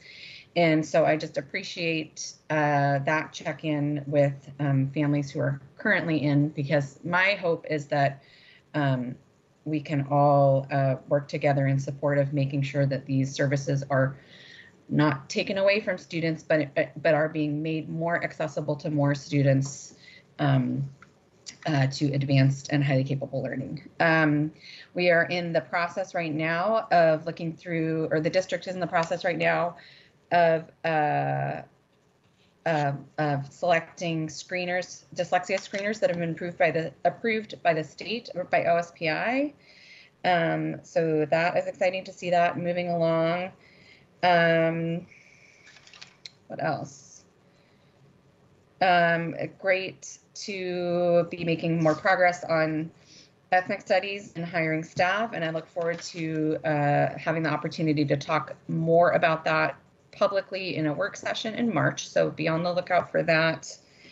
Um, and uh, let's see. Oh, um, yeah. No, I think that's it for now. Thanks. Okay, thank you, uh, Director Rankin. And we'll move now to uh, Audit and Finance Committee Chair, Director Hersey. Thank you very much. Um, so our last meeting was mostly focused around our budgetary constraints, especially in regard. Oh, I keep forgetting my camera. Sorry about that. Hi, everyone. Um, so our last meeting was mostly focused around the budgetary restraints that we have in regard to not only transportation, but the various other factors that are impacting the financial health of our district. Um, what I would say is this is an ever evolving situation. There are a couple of specific bills that are moving through the legislature right now um, that would help us get to a place to where we could uh, reasonably um, move forward with opening physical buildings, not necessarily reopening schools, because we have been doing school ever since we closed last March. So I would just like to say that um, as we continue to move forward, please be on the lookout for bills 5128 and 5344. Uh, the first one is for transportation, and the other one is for um, various funding and uh, in terms of ESSER specifically. Um, what I would say is please, if you are interested in returning to physical buildings for um, potentially this year, maybe even in the fall, please reach out to your legislators and make sure that you are uh, advocating for the support of those two bills. Again, that bill is 5128 and 5344. We would greatly appreciate it. I look forward to the opportunity to chat with you all at the next Audit and Finance Committee meeting, and I will pass it on to the next director. Thank you. Thank you, uh, Director Hersey. Uh, and I will now move to the executive committee um, meeting. Uh, the most recent of one was this morning, uh, February 10th. Uh, next one um, will be on March 17th. Uh, and um, pretty exciting um, morning this morning, and that we discussed. thank you, Directors Hersey and DeWolf the uh, prospect of bringing students onto our school board, uh, not as as voting members, as state law doesn't allow for that, but as full um, participatory uh, members of the board. And so um, I'm excited to see us uh, continue to move that forward and um, had some some very good uh, robust conversation and fantastic presentations from students themselves who um, have very much been a part of driving this this process and and brought it forward uh, first. Um, and then um, we looked again at our updates, ongoing updates to um, our website as we we try to look to a new um, content management system. Um, discussed our upcoming uh, March board retreat, which is critical for those that want to listen into that. That's on, on March um, 6th, and that will be um, starting at 8.30 a.m. Uh, and will be heavily focused on our in-person learning design um, for uh, primarily for, for fall. Um, and um, talked about conference schedules, conference opportunities, uh, relative to our board goals and encourage directors to respond when you receive the emails about um, opportunities to participate, uh, not just in conferences, but in opportunities to learn ar- around best practices. And um, always happy to hear from folks in community if you know of opportunities. Um, I, different states definitely provide opportunities for growth. Um, and uh, leadership uh, development for school board directors in very different ways from state to state, and um, I, it's they can be a bit hard to find here within Washington State, and um, so um, I hope that folks will will do what they can to um, take advantage of those opportunities. There are more of them now because they're remote, and so we're able to actually access them without traveling. Um, so there'll be an email coming out about that. And then the District 4 appoint school director, um, board director appointment process. Um, we were scheduled to have a meeting on the 25th to narrow that down to five, um, but we had a, our sixth candidate dropped out. So we are now down to um, five directors, uh, five um, applicants for the um, District 4 uh, position. And we will be moving forward with that process. Um, and I believe um, while their resumes and their um, responses um, to um, some initial questions are available now, there will also be videos um, that will be uh, posted soon. And um, I, th I, think we're hoping by the end of this week, Ms. Wilson Jones will correct me if I'm wrong, um, and we're looking forward to that will all be done um, by the March 24th meeting is when we will have that that final decision and there will be a forum um, before that um, uh, I believe led primarily by the NAACP Youth Coalition will be uh, moderating that forum for us. Um, and then we talked about uh, bringing folks in once that's done, um, board member orientation and kind of the direction that we need to go for that to make sure that board members are as prepared as possible um, when they come onto the job. So with that, I will um, then move us on to the uh, next action item. Sorry again for being a bit out of order. Um, and that next action item uh, is BEX 5 approval of budget transfer and construction change order number five for the West Seattle High School um, roof replacement project. May I have a motion? This came through operations on February 4th for approval. May I have a motion for this item? Absolutely. I move that the school board approve the transfer in the amount of $1,900,000 from the BEX 5 program contingency to the West Seattle High School roof replacement project budget and authorize the superintendent to approve construction change order number five with Wayne's Roofing Incorporated in the amount of $1,500,000 plus Washington State sales tax with any minor additions, deletions, and modifications deemed necessary by the superintendent, and to take any necessary actions to implement both the fund transfer and construction change order. Immediate action is in the best interest of the district. Second. This motion, this item has been moved by uh, Director Hersey and seconded by Director Rivera Smith. This item is on the agenda for introduction and action today. Uh, Chief Operations Officer Fred Podesta, I believe you will be briefing us.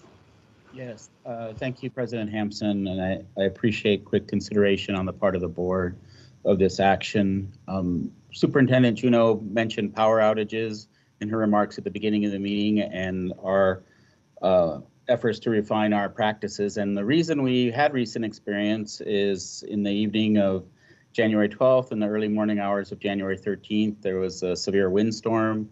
Um, went through the Seattle area with wind gusts of 50 to 70 miles per hour. And um, at West Seattle High School, a portion of um, our uh, steel roof over the gymnasium locker rooms um, tore off the building. And um, following that, we did a an inspection of uh, the roof, the steel seam roof over the gymnasium, and found that uh, many of the panels um, were not properly fastened to the building, and that we uh, are at risk at in, during another storm or big weather event of more damage, um, which really can create safety impacts for occupants or people near the building, not to mention the other damage it can do to our facility.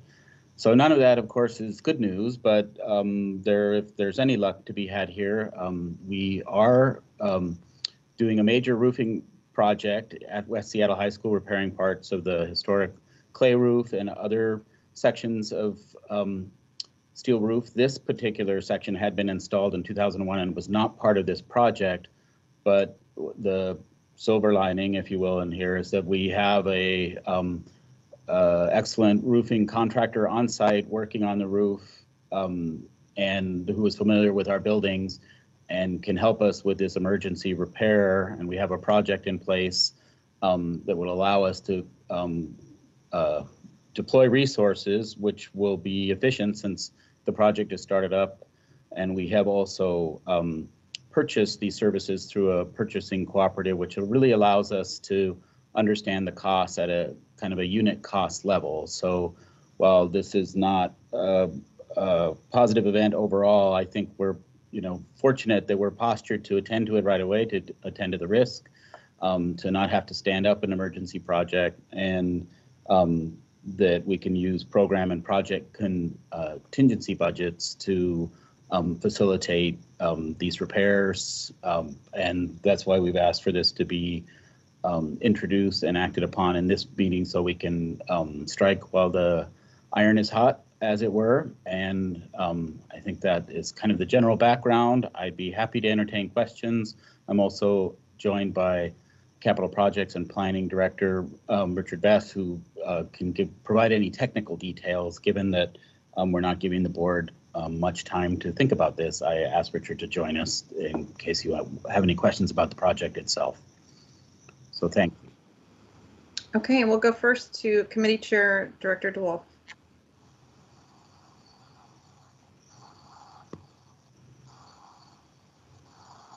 Director DeWolf? Thank you, uh, President Hampson.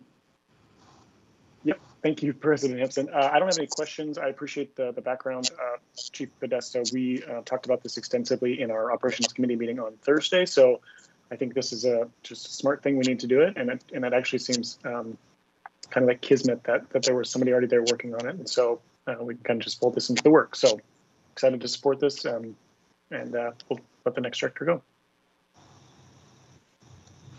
Director Hersey? No questions from me. Director um, Harris, I believe you joined us at 5:07 approximately. Oh, I thought it was five o'clock. My watch. In any event, no questions for me on this issue. Thank you. Thank you. Uh, Director uh, Rivera Smith?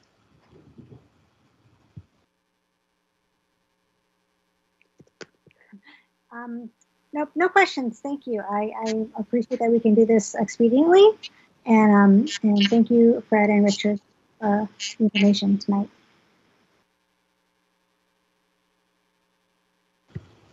Director Rankin?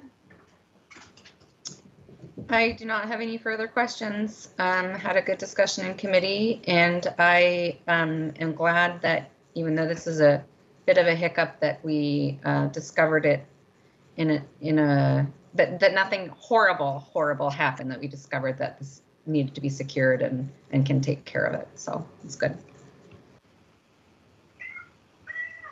And then I think my only question was just in terms of, um, because this happened uh, in, in the way that it did, um, and that there was, because of the historic uh, nature, that there, you had to use the purchasing cooperative um, as the alternative procurement method. Was there any other, um, anything in particular within that, that where we had to have any exceptions relative to our normal procedure other than the historic piece of it? I, think it was convenient for us to manage the details of construction methods and um, to on the portion of the project that related to the clay tile roof. I I think other than that, um, those are convenient for us in managing kind of on a time and materials basis and understanding details. Richard, if you have anything you'd like to add about our, our procurement method, I, I think it's also, um, for this particular situation with the change order, it is very helpful to us that um, we can only pay for the portions that we need to take care of now and kind of, again, pay a little bit more on a time and materials basis, not do a design and a bid and um, take the kind of total project approach to dealing with an emergency where we'll discover kind of on the as the course of work proceeds, what the true cost will be. I think it, this will help us manage costs well. And anything you'd like to add, Richard, I'd appreciate. Yeah, no, I think Fred, you've actually given a very good explanation of what we, what the actions we're taking. Uh, President Hampson, we are coordinating with the City of Seattle's Department of Neighborhoods and Landmark Preservation Board. Um, any activity that occurs within 200 feet on our site within the landmarked uh, areas, we do have to coordinate with them. So we've informed uh, their administrator um, uh, of this work that we're taking and the actions that we're doing, and our architectural firm is doing that on behalf of Seattle Public Schools. I will note, um, I am thankful we have a purchasing cooperative uh, that we utilize that procurement method because it does have line item pricing and we're able to go to those line items. And this is literally almost per dollar the same as the standing seam metal roof that we did um, replace um, as part of the phase two work.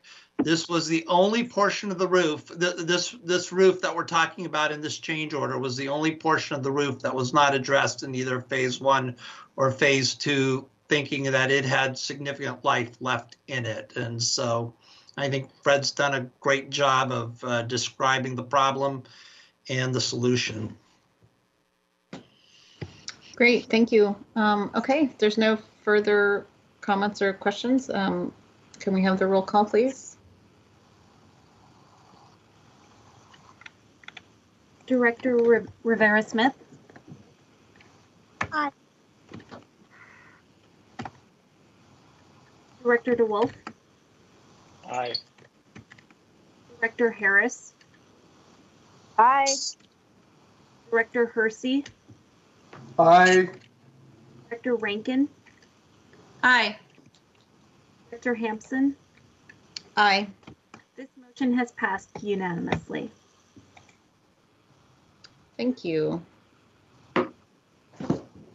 Okay, we will now move to uh, our introduction items. And introduction item number one is the hiring of Dr. Brent C. Jones as interim superintendent and approval of interim superintendent's employment agreement. And as the sponsor of this, I will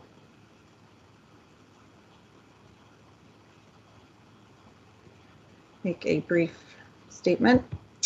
Um, so at our last board meeting, the, the board voted to authorize me as board president to negotiate a contract with Dr. Brent Jones to serve as interim superintendent.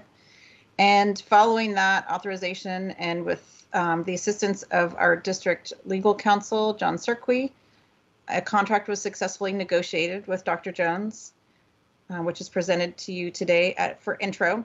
Uh, we used introduction. We used Superintendent Juneau's contract as a starting point, and then negotiated a number of changes, which were reviewed and approved by the dis- district's lawyers and also by Dr. Jones's lawyer. Um, that contract is attached to the bar here as a product of these negotiations. Um, we also referenced uh, prior uh, interim uh, contracts in, in um, previous um, iterations um, when we've had such replacements. And um, Chief Legal Counsel Greg Narver is also on the line. Um, and, and while he can't uh, speak to any legal advice that he and Mr. Cerqui offered, he can also answer questions in terms of, of the contract. So with that, unless Chief Narver wants to add something, um, I will go first to Director Hersey for any uh, questions. no questions for me. Excited to move forward. Thank you, Director Harris. No questions for me. I will just restate for the record that uh, I much would have preferred this to be a community engagement piece, and I will not be voting for it. But in the event that this passes, I will give Dr. Jones my best efforts. Thank you. Thank you, Director Rivera Smith.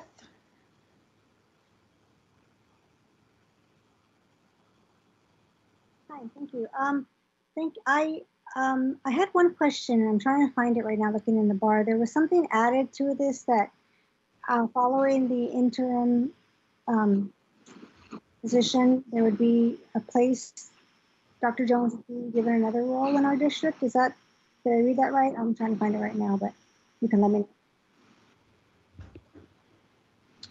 Uh, do you want me to, how about, well, let me go to Director uh, Rankin and then we'll come back to you. Um, I do know what part you're talking about, but since um, I don't have it right in front of me right this moment, um, we can both pull it up and then uh, come back to that. Are you okay with that? Sure thing. Yep. Okay. Uh, Director Rankin? Thanks. Um, I don't have any questions. I just want to highlight for anybody, uh, community members listening, to note that this is introduction and it the uh, materials are attached to the board agenda on the website. So if you have questions or concerns um, and um, want us to to notice or consider uh, anything, please do read that and email email the board um, as soon as you can because the next time we we see this item it will be for action where we will be voting as a board um, that's it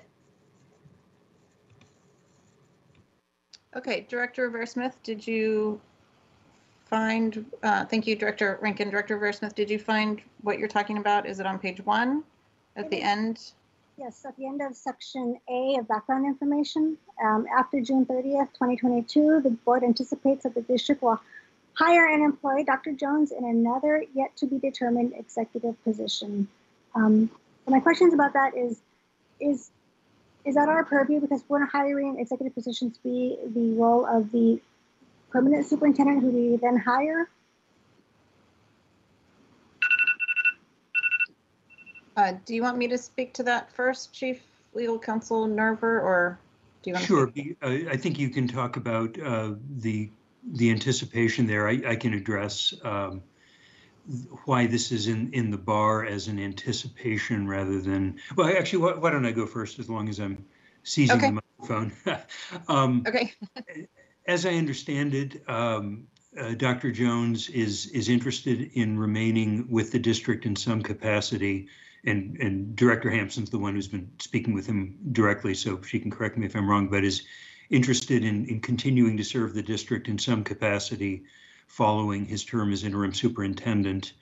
Uh, the bar notes that it's anticipated that, that a role could be found for him to stay on. It's not a term of the contract. It's not, um, uh, it- it- it's not a, not, not a promise that's being made. It's more uh, the spirit in which this is being entered into, that hopefully this is setting the stage not just for a one and done term, but a, a long-term uh, employment relationship, but it's, but the contract is just for the term as interim superintendent. That's the only thing the board will be asked to vote on at its next meeting. Yeah, and I would just say that's the, the, um, in terms of the desire to, for this to be a long-standing relationship, but not a long-standing one in terms of a permanent, um, employment as superintendent, but in a lesser role. Um, we do have, um, limited authority in terms of what can- we can require or agree to or commit this board to with respect to that. Um, but so that it, we've provided that the spirit of that is that um, we're entering into this relationship with hopes of it continuing, even if it's in a um, or in a lesser or not or you know one step down role from um, superintendent.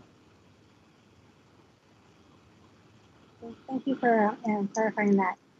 Um, yeah, I don't really have any other questions. I, I like Director Harris. Um, would have loved to see more communication on this. I understand the time frame we're in and um, that Dr. Jones is a really qualified candidate. So um, I have no other questions tonight. Thank you. Okay.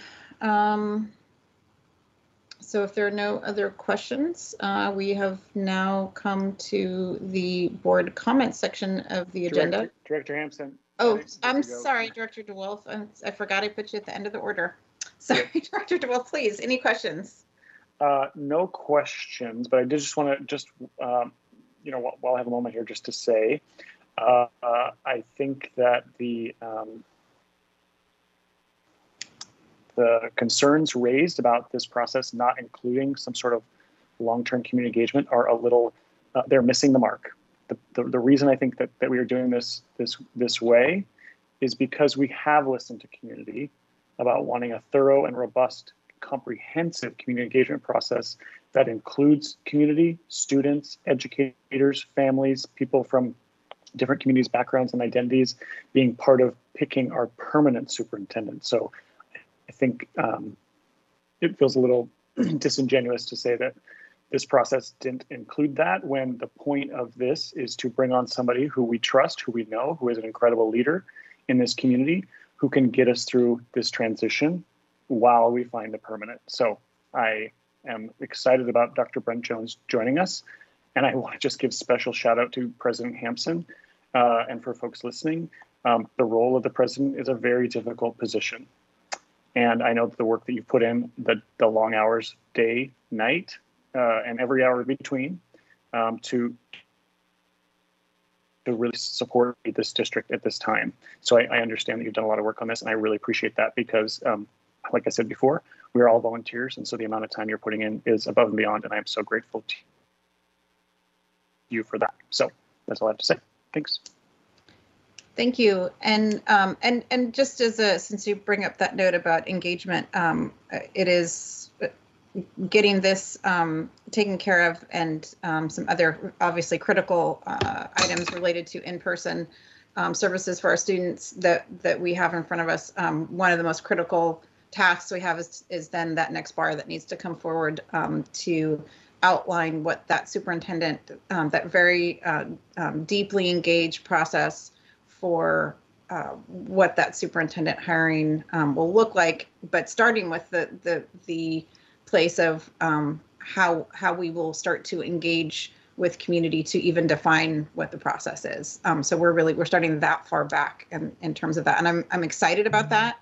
I'm excited about um, leaning into um, community and really getting a sense of um, how do we how do we get deep deep into our communities and and figure out um, how to really develop some relationships that are going to get us to um, our next uh, hopefully longer term leader. Um, okay, so with that, um, thank you so much, directors, and um, we will um, be back to vote on this on the 24th. And then uh, we will now move to uh, board comments. And so we'll go first uh, with Director Hersey.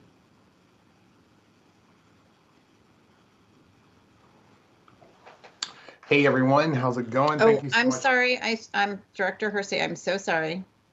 Um, We have, uh, I, I missed a part. Um, Before we move into the general board comments, I will first note that the um, annual board director and senior staff ethics disclosure forms are completed and are posted for public viewing on the agenda. Um, For those that would like to um, see uh, the ways in which we have other ties to the, the district um, for full disclosure. So apologies, Director Hersey, and please um, go ahead. No worries at all. It is all good.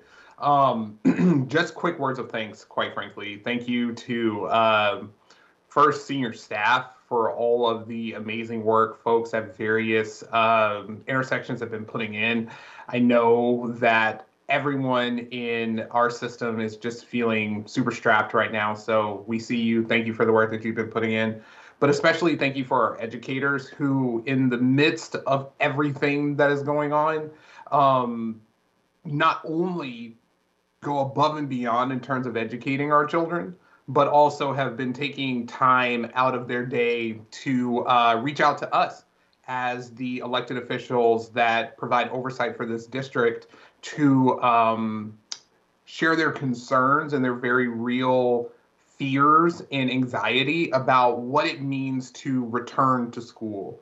And I just want to say that as an educator myself, uh, I thoroughly, and I know that uh, this goes for the entire board, appreciate that feedback because it gives us better and broader context around what this not only means for you as educators, but also what this means for your students and the families that you work with on a daily basis. So please continue sending that feedback as we work harder and harder to come to an agreement and to most importantly deliver on a fair contract that is not only in the interest of our educators quite frankly but also in the interest of our students and their families uh, these conversations become incredibly difficult when there is so much competing information and it feels as though the target is always moving.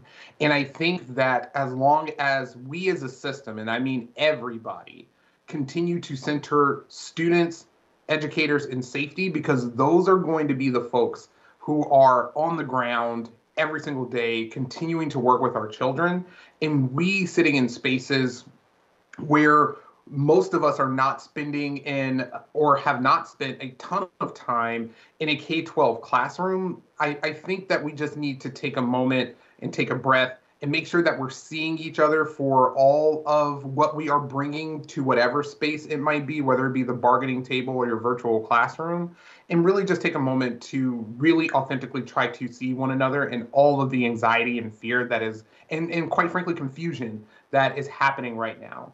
Um, so again, just thank you to our teachers who are out there killing it, crushing it on a daily basis. I, I know that I speak for the board when I say we appreciate you. Um, special shout out to the District 7 meetings as I do every opportunity that I can. All the folks who continually show up to those meetings and provide their input. Um, I just cannot thank you enough. I think that as, as we push forward to whatever reopening these physical buildings, not reopening school because schools have been open for a long time, but reopening these physical buildings that group specifically has been doing some really incredible work since before we even began school um, this year. So again, just a huge shout out to the folks who have been joining us uh, on those weekly calls, and just I look forward to continuing to work with you hand in hand to figure out how do we provide um, as many services and opportunities as possible for our students, especially those furthest away from educational justice, and especially our Black students. Uh, for those of you who are at home listening and who are incredibly frustrated with the um, lack of progress toward uh, getting your student back to some sense of normalcy. Um, I, I totally understand and I feel you. I hear where you are coming from. At the same time, we've got to make sure that we get this right because if we do not provide a fair contract, if we do not uh, move into the direction of reopening these physical buildings, it together and with a very clear and honest plan to do so effectively, then we run the risk of being in a position to where we potentially have to close again. We run the risk of doing more harm and causing more disruption to an already chaotic time. So I think everyone on this call would agree that we are excited and we are raring to get our students back to a place to where they can continue to form and build on those relationships that they have with their educators and their friends. Um, but the primary, the primary objective here is to protect life, to make sure that we are not causing more harm by sending folks back to buildings without making sure that we can deliver on mitigating as much risk as possible and providing a fair contract for our educators. So again, thank you for all of the feedback that folks have been sending. Continue to send it as I said before, that is what we utilize in all of our decision making. So, as we move forward, again, we just appreciate that you have chosen um, to entrust us with your children, and we are working tirelessly to figure out a way to make good on that trust and provide a system that is going to be one that is safe, one that is welcoming, and one that we can all educators, students, families, you name it, be excited to return to at some point. So I'll end it there. Thank you for the time, and I hope everyone is doing well. Thank you, Director Hersey. Director Harris? Thank you, President Hampson. Appreciate it. I would echo and emphasize what my colleague, Director Hersey, had to say, and I will add to that. Folks that want to go back to school, if you could let your legislators State Superintendent Chris Reykdal, Governor Jay Inslee know that you would very, very much like to see a new category of vaccines, and starting with our educators that are assisting students accessing special education services. Um, it, it's very ironic that um, folks are telling us to go back to school, but at the same time, not necessarily recognizing the fear and the anxiety of our teachers and folks that are living in multi generational households uh, to give them a boost up in terms of getting those vaccines. Now, I will appreciate that we have a vaccine shortage. I will appreciate that. Uh, it's not as well organized as we all would like to see, but our parents and families can absolutely help the district and the teachers by lobbying for same. Um, additionally, there's been a great deal of traffic and conversation about the potential of cuts of transportation to option schools. And Director Rivera Smith and myself will be holding a Zoom meeting at 3 o'clock on uh, Saturday at 3. And that'll be uploaded to both of our board pages. We've invited principals of the option schools to attend. I believe uh, Chief Berge will be invited to attend as well to talk about the finances and issues of this. And with any luck at all, we can communicate even more clearly. Um, to those folks that are working so hard, I give my deepest thanks. These are not easy times. I do, in any way, shape, or form, discount the stress and anxiety that families are feeling. but I also know that good people are working very, very hard. And when you send your questions and your comments to the board, if you could provide constructive uh, input, much appreciate. Creative ideas, we're open to them. Just look at things like outdoor education, etc., that have come forth, and rightly so. And if you could tell us which school and what grades your students are, that also helps us shift, sift, excuse me, S-I-F-T, not S-H-I-F-T, sift the information and triangulate it to get a better sense of, of where information is coming from. Um, again, it's an honor and a privilege to serve and to serve with such great people. Thank you.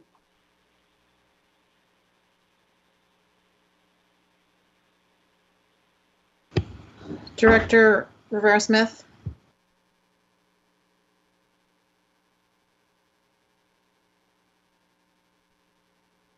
I'm sorry, can you come back to me? Sorry about that. Director Rankin.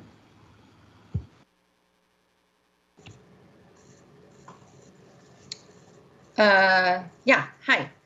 Um, I I will just start by um, thanking everyone who who came in and gave uh, public testimony, and I especially want to thank our student speaker. The student speakers are always um, some of my favorite parts of board meetings.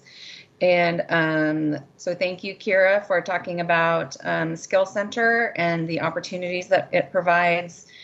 Um, hands-on learning is is is huge and is even you know more limited in a remote setting than um, than it would be normally. But getting more hands-on learning, more opportunities for for students to make uh, physical connections with their education and um, learn skills and participate in things that feel very very relevant is something um, that I am really excited about.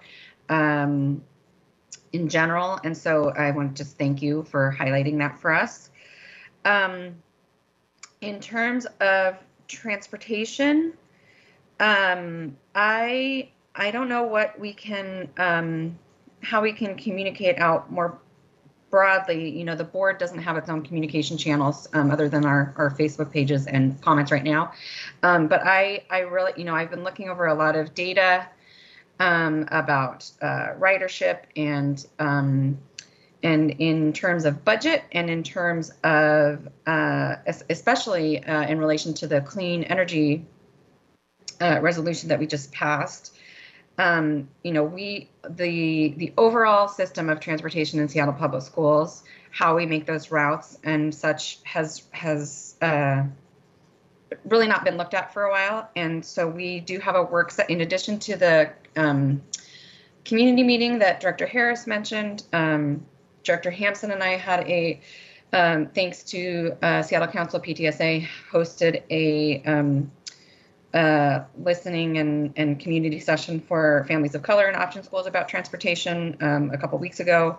Uh, there is also going to be a work session coming up on the 23rd, I think, to discuss transportation um, in relationship to budget considerations.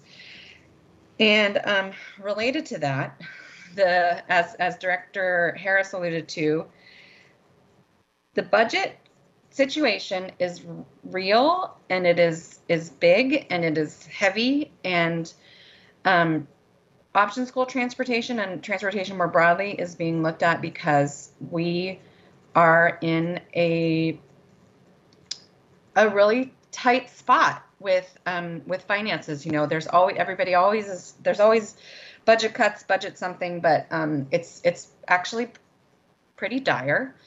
Um, we have received word from the state um, estimating some funds coming to us for recovery from COVID, but uh, we um, we don't know if the state will hold us harmless for uh, transportation shortfall, for loss of enrollment, for various other things. Basically, our expenditures as a district, our, our costs exceed um, the resources that are given to us by the state. And um, we've got to find ways to make it up. So as a board, it's our, as people like to say, it's our fiduciary duty, and it is in fact state law to pass a balanced budget every year. We cannot, you know, we can't spend money we don't have. It's illegal.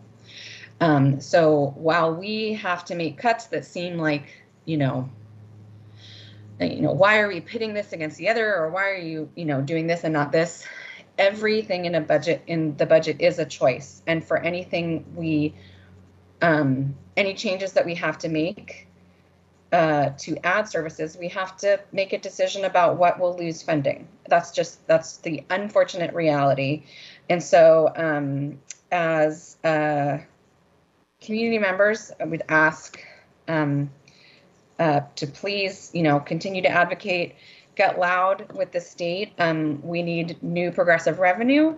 We need to be able to have um, relief funds from the federal government for um, recovery from COVID. We need those funds to come directly to us as a district to be able to spend on those recovery efforts as opposed to backfilling um, transportation shortfalls and other operational costs. We we really need to be able to do um, to have access to that funding so that we don't have to keep cutting services to students and um, and potentially uh, staff. So, which is of course also in service to students. So, uh, can't put too fine a point on it. We we need we need support.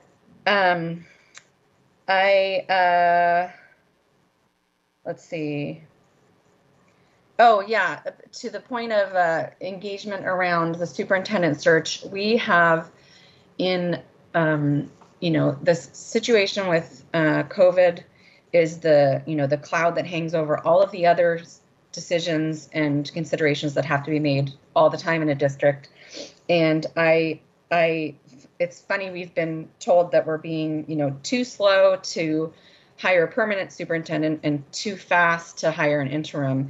And that's kind of a funny complaint because the whole point of being swift with an interim was so that we could um, keep operations and maintain, you know, forward progress and support of our students over the next um, uh, into next school or over the course of next school year and have time to do that deeper engagement and get um, community input and have a community led um, process for finding a superintendent. So the urgency and not urgency, those are um, related and actually makes make a lot of sense to me.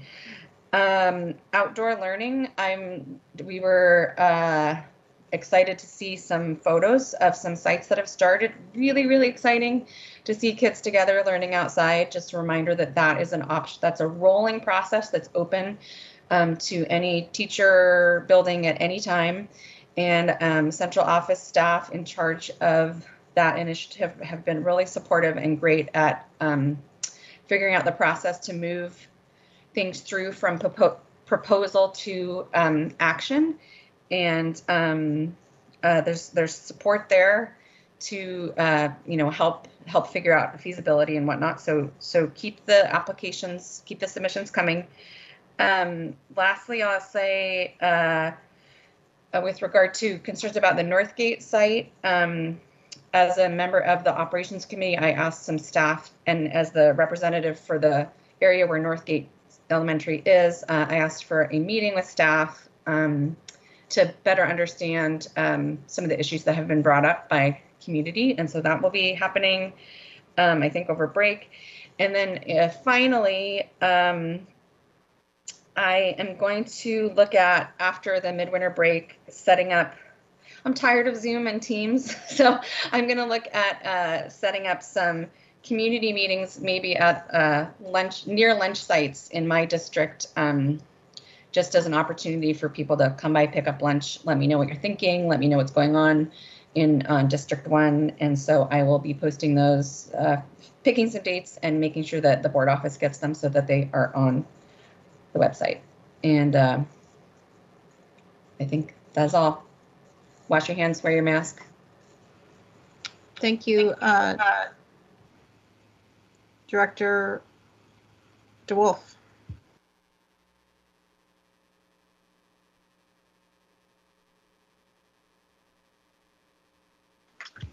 Thank you, President Hampson.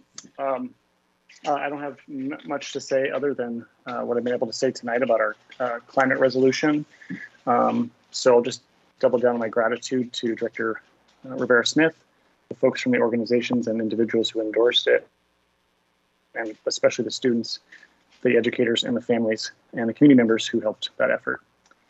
Uh, I just wanted to share too. I think Director Hersey mentioned last night I was able to have a community meeting with the Thurgood Marshall families, and so I want to thank the families and the young folks who joined our meeting last night. It was a really, really wonderful opportunity to connect um, with one of the school communities in my district, and I know that obviously Director Hersey has some of the folks uh, based on the uh, attendance area in his district as well. So it was just a really great conversation, um, and just to just to affirm that we, we do hear you, whether it's by email or community meetings, and we hold everything you say close to our hearts and understand the, the difficulty uh, that everyone faces um, trying to experience and go to and participate in school during this pandemic. And um, so we're there with you on on really wanting this to be over, and we want to do it right and want to make sure everybody's safe. And so we'll continue to, you know, obviously, with the aim of coming back um, someday, um, and we'll work towards that. But um, outside of that, um, I just wanted to elevate one thing from our operations committee meeting, which I think um, is, is a little, little bit uh, lost, um, maybe buried the lead. Um, but James Baldwin was uh, uh, an LGBTQ, uh, Black LGBTQ cultural and literary hero.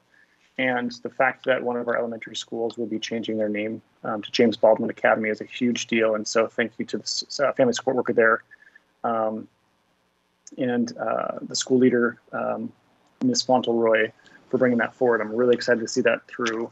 Um, and with that, I just thank you all for a really great night and, and back to you, President Hampson.